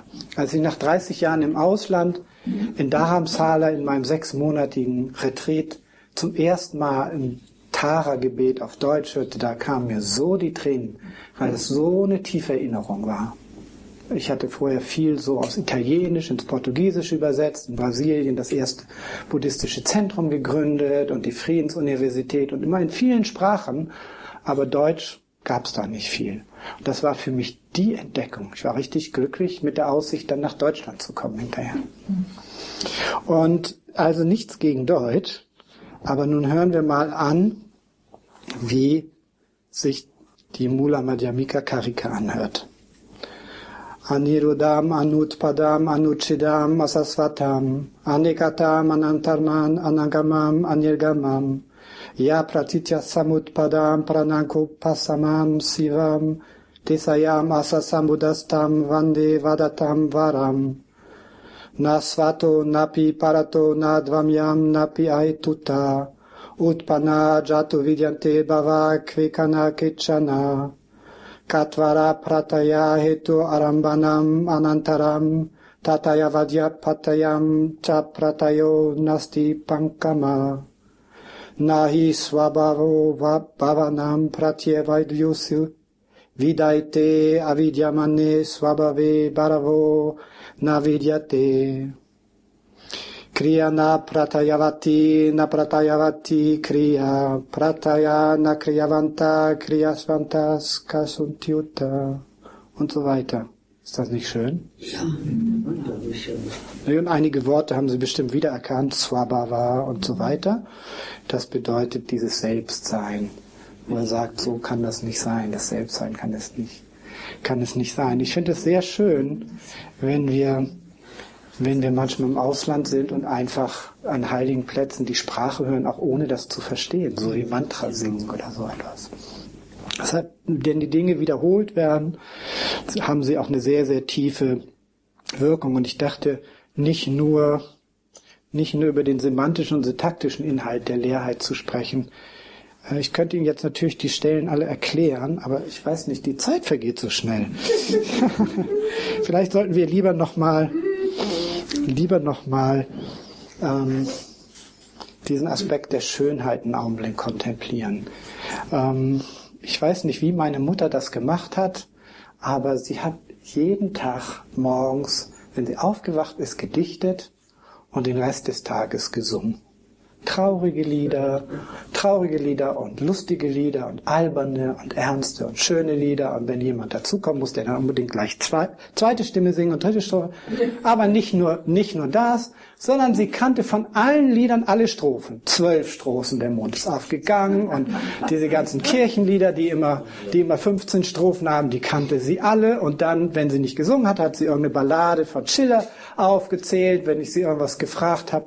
Und nicht nur das, sondern wenn sie was vergessen hatte, hatte sie die Fähigkeit, indem sie es gesungen hat oder zur Ruhe gekommen ist. Morgen früh weiß ich es dann. Und da hat sie gesungen und reingespielt und dann kamen die Dinge wieder. Und möchte gerne, obwohl wir noch gar nicht richtig angefangen haben. Also hier liegt immer noch meine Seite, auf der Null steht. Und da gibt's noch acht, acht handschriftliche Seiten für heute Abend und noch die ganzen schriftlichen Arbeiten und die Quellen. Es gibt noch eine Fortsetzung. Können wir gerne machen. Also sagen wir mal, das, was ich äh, Ihnen versucht habe zu erzählen, waren meine eigenen Worte im Deutschen. Als Dolmetscher hat man immer die Angewohnheit, von den vielen Möglichkeiten, die Worte zu verstehen, ähm, das auf vielfältige Art zu übersetzen. Schauen Sie mal, in welches große Lexikon Sie wollen. Jedes Wort, Englisch, Deutsch, Französisch, egal welche Sprache. Hinter jedem Wort stehen immer ganz viele Übersetzungen, weil die Einteilung der Welt, welche Situation man was sagt, völlig anders ist. Ich habe mal irgendwie hier ein Beispiel, zum Beispiel Knowledge oder so. Das mal in meiner Arbeit irgendwo zitiere ich das. Und dann hier auch diese, all, diese klassischen tibetischen Begriffe. Zum Beispiel das Wort Wissen wird in in Sanskrit in über 20 verschiedene Art und Weise übersetzt. Oder Dharma, das Wort, ne? Das kann die Wirklichkeit bedeuten oder Lehre, das Gesetz, die Sitte, die Pflicht. So viel. Und so ist es mit jedem Wort. Also die Worte, die ich versucht habe, heute Abend zu wählen, die kann ich oder die habe ich in meiner Arbeit begründet, warum man das so benutzt. Aber ich habe das Ihnen jetzt heute Abend ein bisschen ersparen wollen. Ich versuche einfach auf den Punkt zu bringen. Aber, ihr, aber jetzt ist natürlich die Möglichkeit, noch ein paar Fragen zu stellen, um die jetzt aufgetaucht sind oder die Sie schon mitgebracht haben, um das rund zu machen. Also danke nochmal für den Vortrag, war sehr schön, sehr spannend. Würdest du sagen, indem ich Vielsprachigkeit habe, also indem ich mehrere Sprachen verstehe und dementsprechend auch, ich muss ja die Sprache, um die Sprache zu sprechen, eine andere Sprache, muss ich mich auch in deren Denk mit reinleben und ich merke es teilweise viel mit die Begriffe im Deutschen oder im Englischen, wie auch immer, weil das sie halt in dem Sinne da nicht so gibt, dass das auch eine Hilfe ist zum Beispiel, um seine eigenen Konzepte los, also zu verändern, sich zu öffnen sozusagen. Also dass quasi wirklich die Vielsprachigkeit ein, ein, ein Instrument sein könnte, um dahin zu kommen. Also der, dem letzten Satz würde ich gern zustimmen. Äh, es kann ein Instrument sein. Die Phase von mehrsprachig aufwachsenden Kindern, bis dieses System im Gehirn, was wir gesehen haben, dieses Komplexe sich abschließt, also bis sie eine wiedererkennbare Sprachstruktur entwickeln, mit der sie sozusagen dieses Vorhersagesystem anwenden können, was im Leben Sicherheit gibt, ist genau doppelt so lang. Sonst lernen die Kinder mit eins, sich sprachlich zu orientieren nach den Forschungen und zweisprachige Kinder schließen das erst mit zwei Jahren also ab. Das ist also doppelt so lange und wenn diese Menschen sich auf einen spirituellen Weg später machen und eine gewisse Offenheit haben, ist das von Vorteil.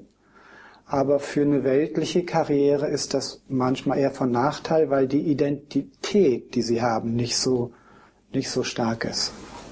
In unserer vielsprachlichen Welt, in unserer multikulturellen Welt, denke ich, ist es ähm, in Ordnung, viele Menschen zu haben, die auch diese gewisse Unsicherheit gelernt haben, damit zu leben.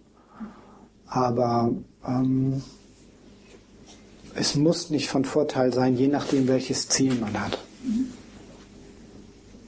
Ich würde mal so gerne wissen, wann hat Nagarjuna gelebt? Etwa 150 bis, naja, die besten Schätzungen gehen 700, 600 etwas. Die realistischen, nach, nach Christus, die realistischen Schätzungen sagen 150 bis 250 nach Christus. Ja. Aber er hat ein paar Dinge praktiziert und zitiert, die erst 500 Jahre später überhaupt die, äh, entstanden sind. Das kann also sehr gut sein, dass so wie man alles immer auf den Buddha zurückgeführt hat, nach Nagarjuna, zumindest nach ein paar hundert Jahren, alles auf Nagarjuna zurückgeführt wurde. Und wer wollte nicht gerne ein Krieger der Nagas sein? Und dann, damit es Autorität hatte, gab es dann viele Schriften ich selbst habe nur vier, die eindeutig aus der Zeit sind, vom Sprachspiel her als authentisch von Nagarjuna zitiert in meiner Arbeit und es gibt ungefähr 20 weitere, die ihm auch zugeschrieben werden, aber wo es nicht hundertprozentig sicher ist, ob das seine Schriften sind. Ansonsten ist von ihm mehr legendenmäßig bekannt als faktisch. Mhm. Ich würde gerne noch mal wissen, ob es ein Aspekt des Hörens, ob der auch eine Rolle spielt, weil du hattest ja alles Gehirn gezeigt und das zum Beispiel Sehen ähm, in die Schleife mit Einfluss. Ich glaube, ich spreche so laut, dass ich das nicht brauche. Ähm, da habe ich vermisst, was ist mit Hören, weil blinde Menschen zum Beispiel haben ja diese ersten zwei Faktoren nicht. Und trotzdem ist diese Schleife ja vorhanden, weil die können sprechen. Und da habe ich mich gefragt, wie geht das dann? Also ich meine, wie, wie hat das Hören, was für eine Wirkung hat das, weil du da so gar nicht drauf eingegangen warst? Okay, also das Hören ist einerseits über das Ohr und die Cochlea in, im auditorischen Zentrum, also wo der Hörnerv endet, im, im, Audit, im auditiven Zentrum, was direkt in der Mitte ist, wo ich diesen ersten Kreis, das Wernicke-Zentrum gemacht hatte. Also das ist identisch mit auditivem Zentrum. Da läuft das sozusagen durch. Von den Sehnerven läuft das durch. Entschuldigung, wenn ich das nicht erwähnt habe. Aber insgesamt ist es eben interessant, dass wir mit unserem ganzen Körper hören. Und dass, äh, dass äh, ich habe in Brasilien viele Jahre lang äh, jeden Monat so ein Wochenende nur zum ganzheitlichen Hören ähm, gemacht. Das ist die Brasilianer haben sehr körperbetontes ähm, Leben und haben unglaubliche Fähigkeiten, Dinge, Schwingung im Körper zu spüren. Also ich hatte mal eine Gruppe, nach einem Jahr haben wir so Gläser Wasser im Doppelblindversuch auf dem Elektroherd, auf dem Gasherd, in der Mikrowelle und so weiter. Und wir hatten über 80 Prozent richtige Antworten, wenn die Menschen Wasser, das von der gleichen Quelle auf verschiedene Art und Weise erhitzt und dann getestet, ob die Menschen das identifizieren können. Und das Sie können mit 80 Prozent richtige Antworten, was unglaublich viel ist, weil bei vielen Alternativen ist die Wahrscheinlichkeit ja nicht 50 Prozent, wenn es nur zwei gäbe, sondern 10 Prozent oder so etwas und dann 80 Prozent. Das heißt, im Grunde genommen, wenn wir lernen, mit unserem Körper zu hören und auf Schwingung zu, zu achten, können wir genau wissen, wann etwas für uns gesund ist, wann etwas nicht für uns gesund ist, wie wir damit umgehen. Das würde dann ja auch im Prinzip die, ähm, ähm, die Wirkung von Homöopathie auch ähm, erklären, wenn man sagt, die kleinste Einheit ist die Schwingung oder die Information, warum dann eben auch ähm, Homöopathie wirkt. Ja, das, das ähm, mit der Homöopathie ist es sehr, ist ein Grund, weswegen das nicht aus der Quantenphysik kommt, was dafür spricht, dass es Wirkung gibt, die rein aus der Information kommen. Denn molekular ist nur die Trägersubstanz immer vonnöten, entweder Wasser oder Zucker, aber Anthroposophen, die haben nicht nur Bilder fotografiert in, in der Dampfwolke, wie die verschiedenen Buchstaben und wie das, was wir atmen, wie sich das manifestiert, sondern auch die homöopathischen Mittel. Und insbesondere Wasser ist offensichtlich dieses trinitäre Molekularsystem, wo jeder Winkel eine andere Information enthält, ein sehr guter Träger davon. Ähm, der, ja, die können sich natürlich verändern, die zwei H-Moleküle gegenüber dem O-Molekül und dadurch verschiedene Informationen haben. Ähm, die Engel auf Englisch heißen Engel, schreibt man genauso wie die Winkel. Also sind verschiedene Aspekte von der Einheit, wie das zusammengesetzt wird. Äh, warum das durch dieses Zerreiben und Verdünnen und Potenzieren so ähnlich wie wenn man Seifenblasen ähm, bläst, auf jede Seifenblase wird die ganze Umgebung abgebildet. Wenn, ihr mal solch, wenn man mal sich solche Seifenblasen anschaut, wenn die vorbeifliegen, sieht man auf jeder Seifenblase die ganze Umgebung. Und so wird die Information durch dieses Verschütteln, das heißt Potenzieren, sozusagen auf immer tiefere atomare Strukturen äh, ver verteilt bis hin eben in den submolekularen Bereich. Natürlich. Ähm, du sagtest vorhin, dass die Sprache mit der Kundalini-Energie verbunden ist und da ist mir jetzt noch nicht so klar, in welcher Form die Sprache mit der Kundalini in Verbindung steht. Also über die Symbolik erstmal. Merkur ist das Kommunikative, was kommuniziert sind Energiefelder. Man hat also festgestellt, dass Kinder, die lernen, nur einen ganz kleinen Prozentsatz semantische Inhalte lernen, aber einen großen Prozentsatz dessen, was sie lernen, sind die Gerüche, die Sicht, die Atmosphäre, wie der Lehrer sich benimmt und so weiter und so fort. Also alles dieses nicht mentale macht einen Großteil dessen aus, was Kinder lernen. Das bedeutet, wir lernen eigentlich, so wie in dem Bild von den zwei Auras, wir lernen von Aura zu Aura. Wenn wir lange genug sitzen würden zusammen, bräuchte ich Ihnen meine Arbeit nicht mehr vortragen oder sowas, dann wüssten Sie, was ich geschrieben habe. So, ich meine, das ist ein Scherz, aber so über in, den, in der Richtung geht das. Das ist also erstmal tatsächlich, dass unsere Energie Systeme miteinander in Kontakt sind, weil die nicht auf unser physisches Körper begrenzt sind. Und der semantische Aspekt ist dann einer davon. Der muss immer in Resonanz mit der Energie. Der enthält die Energie, kommt übers Stammhirn, wird erst verarbeitet in diese ganz urtümlichen Instinktsachen wie Geruch, wird hier hinten verarbeitet, Gleichgewichtsorgan, dann kommen ähm, verschiedene Funktionen wie ähm, Gleichgewicht, muss ich mal eben überlegen, was haben wir da hinten noch? Geschmack? Irgendwie so Geruch, Geschmack, also ganz ursprüngliche Sachen. Und die Energie geht dadurch und dann kommt die erst in Bereiche, wo es mit Denken und mit rationalen Dingen losgeht. Und das heißt, auf dem Weg wird sozusagen erstmal alles animiert und mitgenommen und immer mitgespeichert. Und das ist bei Kindern schon so. Das kann man also tatsächlich auch nachweisen, wie die, wie die strömen. Die Kundalini ist natürlich jetzt eine Kraft, die schon, die in dem System mehr bedeutet als nur Lebenskraft. Die in dem Bezugssystem der indischen Tradition, aus dem wir auch Nagarjuna kommt, geht es sozusagen über das, was vielleicht Prana oder Chi oder Ot oder Odem ist, hinaus als eine spirituell kultivierbare Kraft, die sich auf verschiedenen Stufen verschieden ausdrückt. Aber zum Beispiel diese Praxis Pranidana, sagt Ihnen das etwas? Pra, Pranidana ist eine Praxis, die in der Zeit auch viel gemacht wird, wo eigentlich Dana ist die zweite Vollkommenheit das, äh, die erste Vollkommenheit, Dana, das Geben. Pranidana ist das Geben von Prana. Die Vollkommenheit des Gebens ist ein, was auch in der Begrüßung sich ausdrückt. Also wenn man zum Beispiel Ehrfurcht hat, begrüßt jemanden, dann gibt man seine Lebenskraft durch Worte, durch die Begrüßung. Es gibt noch eine Sprache, in der das sehr schön ausgedrückt ist. Ähm, Hawaiianisch, kennen Sie vielleicht Aloha? Aloha. Alo heißt bei etwas sein und Ha ist der Atem. Wie bei uns Hallo sind die gleichen Worte. Allo und Ha. Das heißt, ich, wir atmen zusammen. Ich bin im Atem bei dir. Meine Energie ist bei dir. Und sind die gleichen Worte für Allah.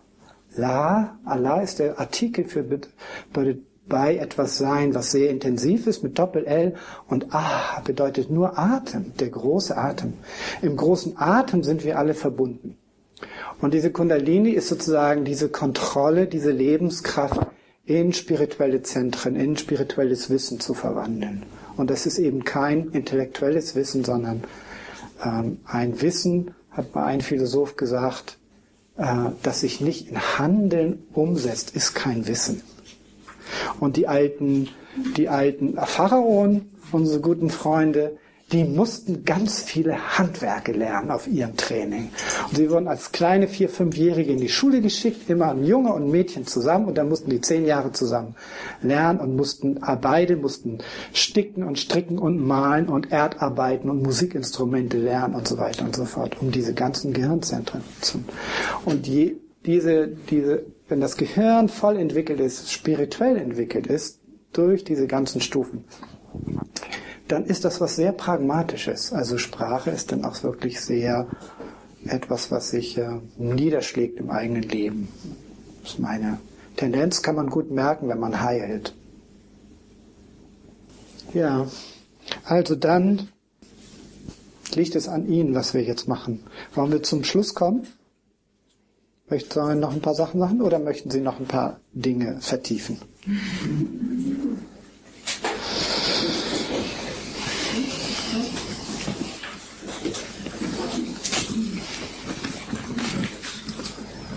Ich kann mal schauen, vielleicht ein paar, ein paar Einzelheiten. Oh, ich interessant. Neulich hat mir jemand erzählt, wie spricht man miteinander, wenn man weiß, dass man verwandt ist? Abgehört wird. Wie spricht man? Es gibt so viele Krimi, Kriminalfilme, in denen irgendjemand aus größter Not gerettet wird, weil nur er und jemand anderes irgendein Wort so versteht. Und obwohl sie gefilmt und abgehört werden und so weiter, nicht verstehen. Das wäre vielleicht mal was, was wir lernen sollten. Wie spricht man, wie spricht man als Buddhisten miteinander, wenn man nicht sagen möchte, dass die Dinge inhärent existieren, sondern dass sie einfach nur da sind. Die Dinge sind einfach da und zum Zweck der Kommunikation redet man, damit man sich zu einer bestimmten Zeit verabredet. Aber das heißt nicht, dass die Zeit absolut ist. Oder man sagt, möchtest, möchten Sie sich setzen oder sich setzen, nicht weil da kein Stuhl ist und nachher fällt man auf den Boden, sondern einfach, weil es ist halt konventionelle, konventionelle Ebene. Vielleicht könnte man auf die, diese Sache nochmal einsteigen. Also Sie wissen ja, dass die Übersetzung, die traditionell von, ähm, von den, jetzt muss ich nochmal eben schauen, dass ich das richtige Wort sage, ist alles ein bisschen viel. Und zwar, äh, die beiden Ebenen ist ja Samvriti und Prapanka Satya und das Doppelte, das heißt Dvaya, genau. Also Dvaya Satya, die zwei Wahrheiten. Das ist auch sehr interessant, weil die ersten, die das übersetzt haben, haben das mit die zwei Wahrheiten übersetzt. Und bei uns klingt das dann fast so wie, da ist die eine Wahrheit und das ist die andere und das haben die einen miteinander zu tun. Und wie, wenn ich meinem Philosophieprofessor erklären soll, dass die Buddhisten sagen, es gibt nicht eine Wahrheit, ein Logos oder irgendwas, wonach die Menschen sind, sondern es gibt mal zwei, dann sagt er, oh, ich glaube, ich glaube, der ist auch mehr richtig. Das kann man dem nicht verkaufen. Wenn man dann aber genau reinschaut in die Bedeutung, dann ist Dvaya nicht nur zwei, sondern auch dual oder doppelt oder mehrfach oder vielaspektig. Es bedeutet einfach alles Dvaya. Ein Konzept. Und Satya bedeutet nicht nur Wahrheit, sondern Realität, Wirklichkeit. Das, was man über die wahrhaftig über die Realität aussagen kann. Und in meiner Arbeit fasse ich das also nicht als zwei Wahrheiten auf, weil die Gefahr sonst besteht, dass ich meinen Abschluss nicht schaffen sondern weil ich aus quantenphysikalischen Gründen tatsächlich der Meinung bin, dass es nur eine Realität gibt. Eine ganz natürliche Realität, die schon da war, bevor die Menschen mit der Sprache kamen und alles zugetüncht haben und hinterher an ihre eigenen Phantasmen glauben, sondern dass diese eine Realität zwei Aspekte hat, so wie einen manifesten materiellen Aspekt und einen energetischen oder ein, die Energien, die kann man auch als Atmosphäre spüren, als Energie einfach diese beiden Aspekte hat. Also eine Wirklichkeit mit zwei Aspekten, die beide real sind, aber sich mit mal wieder gegenübertreten. Ich habe sehr oft Patienten, die sagen, seitdem ich mich geärgert habe, habe ich eine Allergie. Zum Beispiel. Mhm. Nur ein Beispiel. Und dann kämpfen sie ganz doll gegen ihren Ärger an.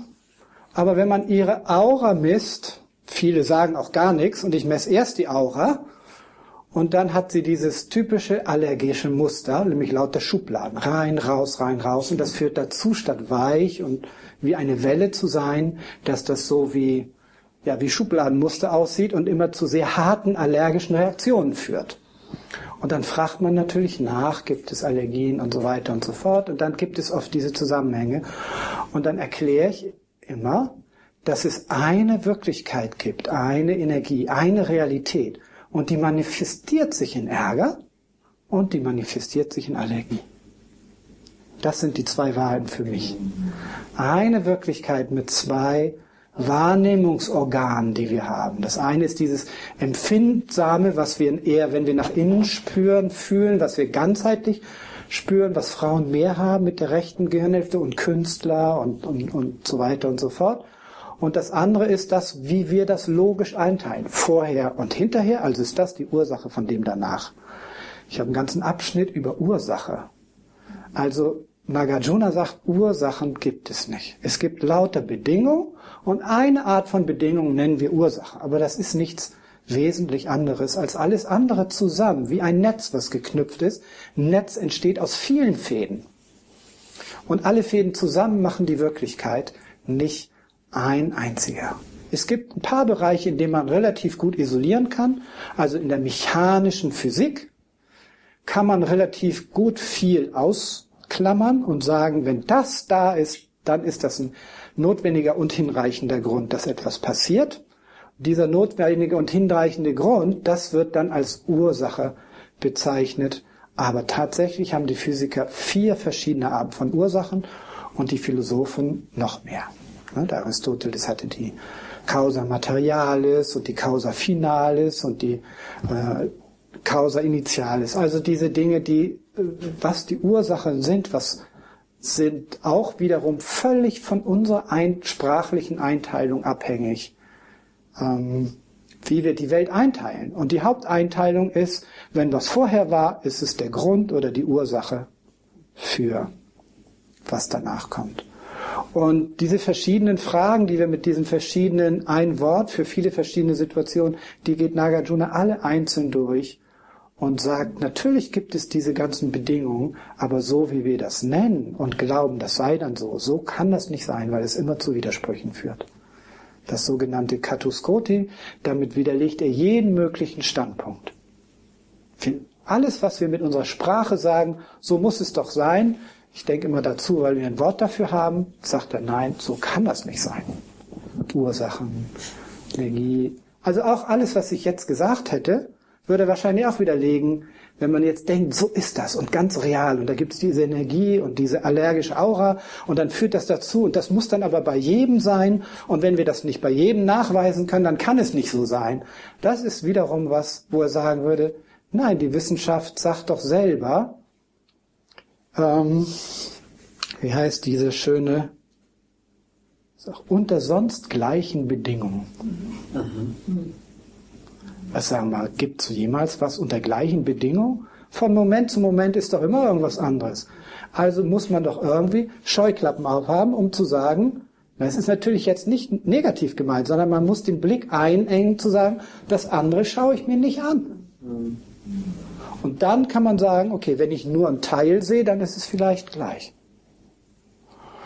So, deswegen, deswegen würde ähm, Nagarjuna sagen, diese Tendenz, die wir haben mit unseren Worten, zu sagen, okay, dann gibt es eine Ursache, das ist wirklich so, es kann auch ein Naturgesetz sein oder sowas, wenn du denkst, das ist dann so und deswegen wirkt das so, das würde Nagarjuna sagen, geht nicht. Du musst immer wissen, du hast diese Begriffe mitgebracht in der jetzigen Kultur, in unserer Zeit und diesen Glauben, den projizierst du mit auf die Welt und nimmst sie so wahr. Und das immer wieder zu durch, durchleuchten Wissen Sie, weil es ist ein großer Unterschied, ob wir sagen, wir verkaufen Demokratie oder Kapitalismus. Aber wir nutzen einfach ein Wort, weil das uns besser gefällt, oder nennen das Ethik, wenn es Moral ist, oder, oder, oder Demokratie, wenn es eigentlich um wirtschaftliche Sachen geht und so weiter. Also es ist alles sehr, sehr wichtig, glaube ich, wenn wir irgendwie wach werden wollen, uns dieses Prozesses nicht immer gleich drauf zu springen und das für wahr zu halten, wenn ein Wort da ist, sondern ins Herz zu gehen, den ganzen Körper zu horchen, zu lauschen und dann in die Stille und dann nochmal anfangen. Okay? Also zwei Wahrheiten, nicht so down to earth wie zwei Stockwerke in einem Haus oder so, sondern einfach zwei Aspekte von einer Wahrheit, das zu nehmen. Okay? Dann hoffe ich, dass das mal ein guter Startschuss war, sich noch mehr über die Sprache äh, zu ähm, Gedanken zu machen. Das ist ja in allen Kulturen ein sehr wichtiges Element. Man könnte noch ganz viel darüber diskutieren, wie verschiedene Kulturen bestimmte Bereiche, zum Beispiel mit Zeit anders umgehen oder mit Kausalität anders umgehen. Da gibt es dann auch wieder Theorien, Worf und Worf hat zum Beispiel diese Theorie entwickelt, dass das dann auch alles so in Stufenweise ist, ethnische Entwicklung der Sprache und so weiter. Das kann aber genauso kreisförmig sein oder überhaupt nichts damit zu tun haben. Es sind dann auch wieder so Sachen, Thesen, die man mitbringt in der Wissenschaft und dann versucht, alles unter dem Gesichtspunkt zu, zu sehen. Und das kann man überall. Eigentlich kann man diese Lehre von Nagarjuna morgens mit ins Handgepäck nehmen und dann, und dann ständig, ständig am Laufen haben, mit dieser Brille die Welt anders zu betrachten und zu hören, was die Leute reden und so weiter. Gibt es ein Buch von ihm, das man gut verstehen kann? Nein.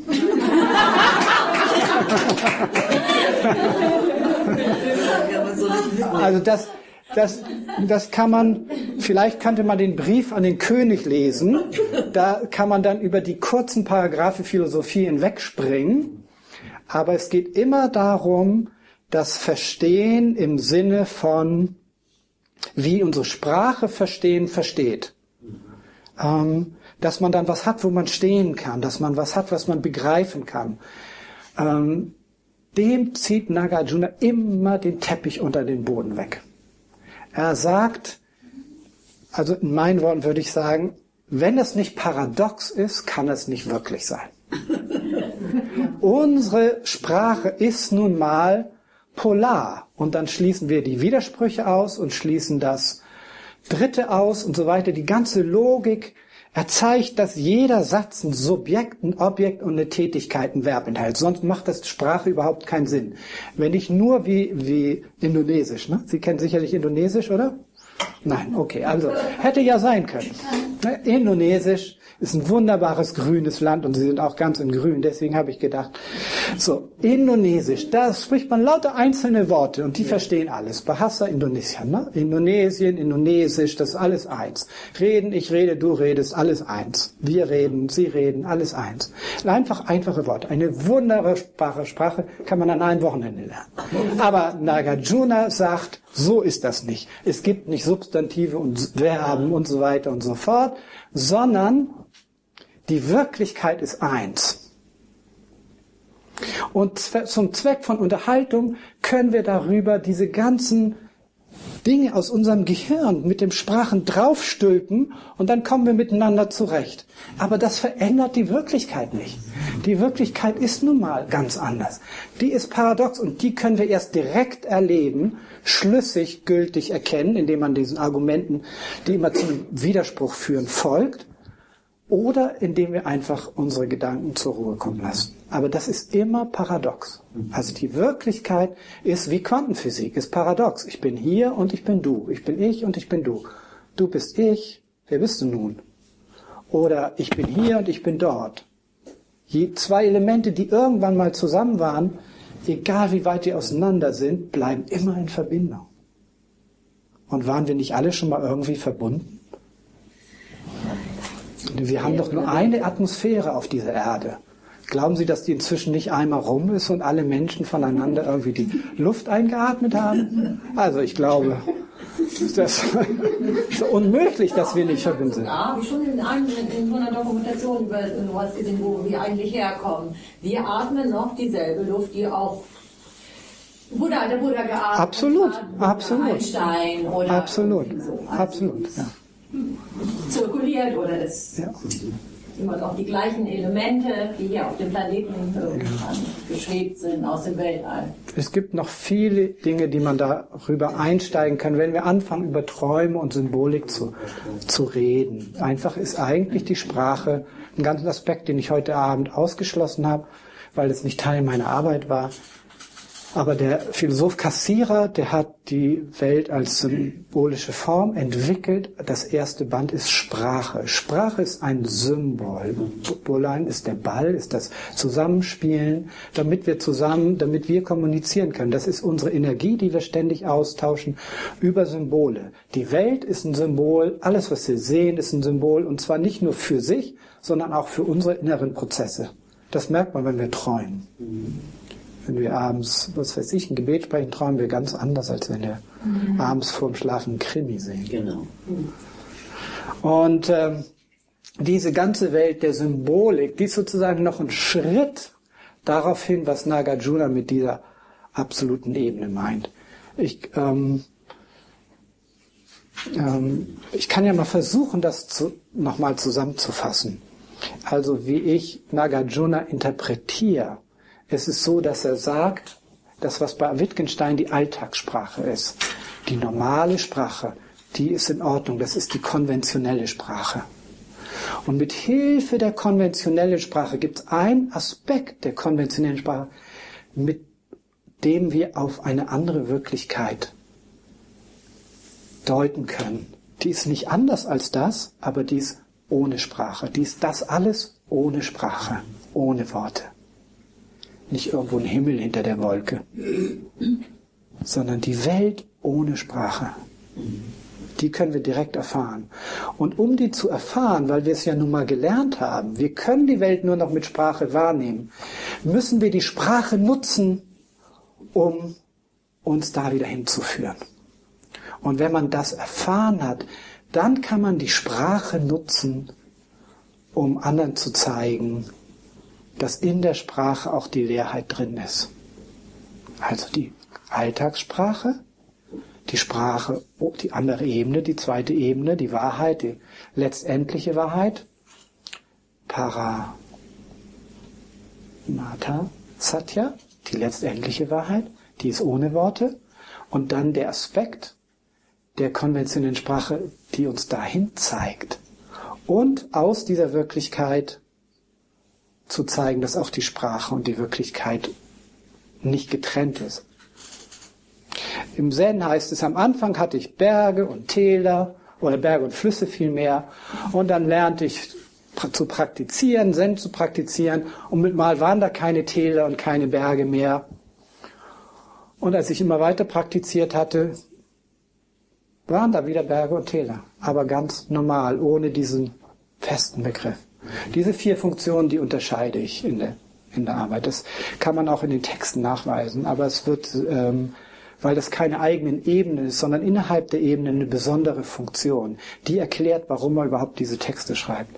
Und das halte ich für uns wichtig, weil ich glaube, wenn wir uns unterhalten und uns öfter darüber unterhalten statt Smalltalk, über das, wie kommen wir dem näher, wie können wir das spüren, was, dann glaube ich, dann benutzen wir das, wofür das Beste der Sprache, also das, den Segen der Sprache. Alles andere ist eine Verführung der Sprache. Ja. Man sagt ja auch, dass Buddha Shakyamuni zum Beispiel alle Sprachen beherrschte und dass er auch zu allen Leuten ganz unterschiedliche Sachen gesagt hat. Letztendlich lässt sich das sehr gut erklären, wenn man sagt, er hat gar nicht gesprochen, sondern hat mit Energie gearbeitet. Dann konnte er jedem das geben, mit jedem, der da saß, hat auch was anderes verstanden, wahrgenommen und dann ist auch die absolute Vielsprachigkeit, also die perfekte, sozusagen auch sehr gut erklärbar. So wie du eben. Mit Händen und Fü also Füßen nicht, aber mit Händen gesprochen hast. Also ich denke, jeder, der mal im Ausland gereist ist, hat irgendwie gelernt, dass man kommunizieren kann ohne mit Worten. Und ich, ich verstehe es tatsächlich auch so wie du, ähm, dass es eine Ebene gibt, wo die Energie ganz erfüllt ist und direkt zum Energiekörper der anderen spricht. Und ich verstehe das auch viele Szenen in der Bibel, Pfingsten, das Wunder verstehe ich auch so, mhm. äh, weil ähm, das ist einfach da dann. Aber ähm, ich will mich nicht mit irgendjemandem dogmatisch anlegen, aber tatsächlich äh, kann man eben, wie ich vorhin erwähnt habe, nachweisen, dass die Energie die Grundlage ist für die Sprache und für das, für unser Nervensystem und für wie wir voneinander kommunizieren. Und die Energie, das ist eigentlich ein moderner Ausdruck für Prana, für Nirvana, für Aloha, für Odem, für das ist alles das, was in unserer Gesellschaft draußen vorgelassen wird als nicht existent, aber genau das vermittelnde Element ist. Niemand kann dir was vormachen auf der Ebene. Wenn er dich belügen würde, weißt du es sofort. Schmunzelst du einfach. Und Kinder haben diese Fähigkeit, unglaublich. Die haben so einen dritten Sinn. Und den haben wir dann natürlich wieder verlernt. Was passiert denn, wenn man zum Beispiel mit Menschen körperlich nicht klarkommt? Wenn einem Menschen körperlich unangenehm sind. Man kennt sie nicht, man weiß nicht warum und trotzdem. Gibt es zwei Möglichkeiten. Entweder sind sie ein sehr sensibler Mensch und übernehmen das Selbstgefühl von dem anderen Menschen zu sich selbst. Dann hat man natürlich meistens sehr viel Mitgefühl. Also Menschen, die sich selber nicht mögen, dann mag man sie meistens nicht, wenn man in ihrer Nähe ist. Es gibt so viele Menschen, die sich schämen wegen irgendwas, wegen irgendeiner Sucht oder wegen irgendeiner Vergangenheit oder irgendwas. Und meistens ist es so, wenn man Traumatherapie macht, hm, ich würde sagen, die Hälfte der großen Traumata, Kindheitstraumata, gehen auf irgendwelche Worte der Eltern zurück. Gerade wenn die Aura total offen ist, in Schock, verloren gegangen, über die Straße gelaufen, fast angefahren. Dann, du Idiot, was meinen Sie, wie tief das geht? Das geht jetzt bis ins limbische System in aller Tiefe. Diese, diese tiefen Traumata sind energetische Imprints, die mit Worten verbunden sind. Und da kann man manchen Menschen, die sich gar nicht mögen, nicht übel, übel nehmen, dass sie sich nicht mögen, sondern mag dich mal, sondern das sind langsam aufzulösende Prozesse. Und dann gibt es natürlich auch das, dass ähm, bestimmte Chemie zwischen Menschen nicht, nicht passt oder nicht stimmt. Und dann ist es ja auch gesund, das zu beobachten, nicht zu reagieren und dann das Leben so einzurichten, dass man nicht macht. Manchmal ist es allerdings auch so, dass man sagen kann, oh, das ist ja eine Gelegenheit, nochmal anzuschauen, was mag ich nicht in dem anderen, was das in mir war. Und da gibt es also verschiedene Ebenen, wie man damit umgehen kann. Aber es gibt, dass man das wirklich nicht. Ja, natürlich gibt es das. Also unsere, unsere Wissenschaft sagt im Augenblick noch, alles das, was wir als Innenleben bezeichnen, gibt es nicht wirklich. Also so etwas wie, wie Gefühle, wenn man da keine Schmerzen, Gefühle oder Fantasie oder Träume oder sowas, das gibt es nicht wirklich. Das ist natürlich eine Perspektive, die die Tibeter gar nicht haben, weil für die sind das alles äußere Phänomene. Die Natur der Dinge ist ohne Worte zu sein, Shunyata, aber ob sie nun träumen, einen Schmerz haben oder ob sie eine Reise nach Südamerika machen, das ist alles äußere Phänomene. Also wenn die sagen, wende den Geist nach innen, heißt das nicht nur, schau dir mal die Träume und die Gedanken und die Gefühle an und deine Bedürfnisse und so weiter. Meine Güte, das ist Prapanka. Das ist zum, das ist, das führt zu Leid. Sondern da durchzuschauen, und dahinter. Das sind auch zwei Kulturen. Das Innere, wenn die sagen nach innen schauen, ist was ganz anderes, als wir meinen mit nach innen schauen. Wenn wir nichts haben, wonach wir sehen können und dann das was Inneres ist, dann denken wir, wir sind verloren. Stimmt. Mir ist gerade eine Situation eingefallen, ähm, die ich erzählt bekommen habe mal und vielleicht zeigt die auch so ein bisschen diesen Zusammenhang so von Energie und Sprache. Äh, eine Freundin von mir, die ist Wissenschaftlerin, die ist Historikerin, die hat mir das erzählt. Ähm, die hat in Freiburg in so einem älteren Haus gewohnt und ähm, saß dann da im Garten und las einen Aufsatz, eben auch von einer Wissenschaftlerin, der dieser Aufsatz ist, war schon eine Weile zurück, dass der veröffentlicht wurde und dann um sie herum, also viele, die da, oder manche, die im Haus wohnten, die hielten sich dann auch so im Garten auf und dann saßen dann noch so äh, bei ihr zwei ältere Frauen, die da schon ganz lange lebten. Ähm, und ähm, tranken da erst irgendwie Kaffee und so. Und plötzlich fingen diese beiden älteren Frauen an, sich zu unterhalten. Und über wen unterhielten sie sich? Genau über diese Frau, von der meine Freundin den Aufsatz las. Mhm. Und die hatte mal in diesem Haus gewohnt. Und das hatte sie vorher nie erfahren. Und die beiden, diese beiden Frauen hatten auch nicht irgendwie einen Namen gesehen oder sowas, äh, der auf diesen Kopien stand, sondern ja, das passierte dann so. Das fiel mir gerade so ein. Ist das so in Ihrem Sinn? Ja. Also diese Dinge, dass man mit mal etwas sagt oder spricht, so etwas, wenn man offen ist, und manchmal Sachen, wo dann der andere sagt, oh, da habe ich auch gerade dran gedacht oder so etwas oder es kommt irgendetwas. Ist sehr interessant, wenn man die Beobachterhaltung innehat und dann, also wenn ich zum Beispiel beobachte, was in meinem Geist los ist und ich komme in den Superladen, ich weiß ganz genau, ich brauche nur einen Liter Milch und dann ja schaue ich in diesen großen äh, Wagen an, der voll ist, dann denke ich, was ist in meinem Geist los geworden? Ich Steuer schon immer geben und nehme nur Hand, so eine Hand, so eine Hand. Aber natürlich, je nachdem, also wenn ich meinen Vater am Sonntag in die katholische Kirche begleite, dann habe ich hinterher wirklich ein komisches Lebensgefühl, muss ich sagen. Ne? Also wenn da keine Musik wäre, das ist wirklich das Schönste daran. Und ähm, ja, es ist natürlich, dass man an verschiedenen, vielleicht ist sogar unsere Erde, aber ich will nicht in die Esoterik abgleiten, das ist so schon ein bisschen schwierig.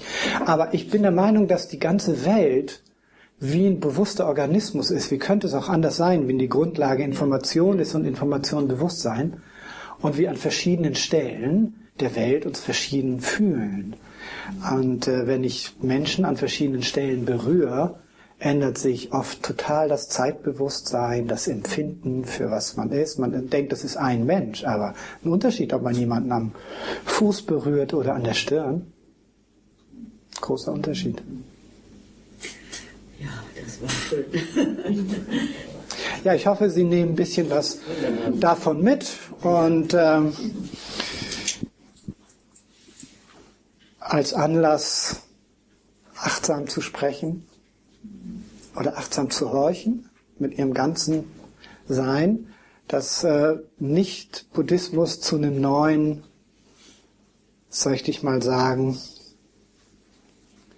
Wissen Sie, wir haben eine Kultur, ich bin selber hier, ich bin selber in der westlichen Kultur groß geworden, zwar meistens im Ausland. Und dann habe ich Buddhismus kennengelernt habe gedacht, oh, wenn ich das jetzt alles lerne, dann bin ich hinterher irgendwie viel dichter an der Wahrheit. Und nichts ist ferner als das. Also, wenn man nachher lauter neue Begriffe hat, die man genauso verdinglicht, wie man vorher westliche Begriffe und Seele und Gott und und so weiter und die Symbole und so weiter, dann hat man halt eine Parallelwelt und merkt gar nicht, dass das für die natürlich ist, da sind sie groß geworden, aber wir sollten wirklich erstmal den Schritt machen, ein bisschen mehr Raum und locker und Weite und das zu reduzieren. Und wenn wir dann sind und wenn wir diesen Aspekt der Sprache und der Relativität als den wesentlichen Punkt aus dem Buddhismus übernehmen, dass es darum geht zu erkennen, dass die Sprache uns irgendwie äh, suggeriert, die Welt sei so, wie wir sie aussprechen können. Und wenn wir das nehmen, dann haben wir die Quintessenz vom Buddhismus auf unser eigenes Leben, auf unser eigenes Denken, auf unsere eigene Sprache übertragen. Und dann können wir wirklich in unsere eigene Kraft kommen und kreativ mit der Sprache produktiv umgehen. Das wünsche ich Ihnen jedenfalls. Schönen Abend.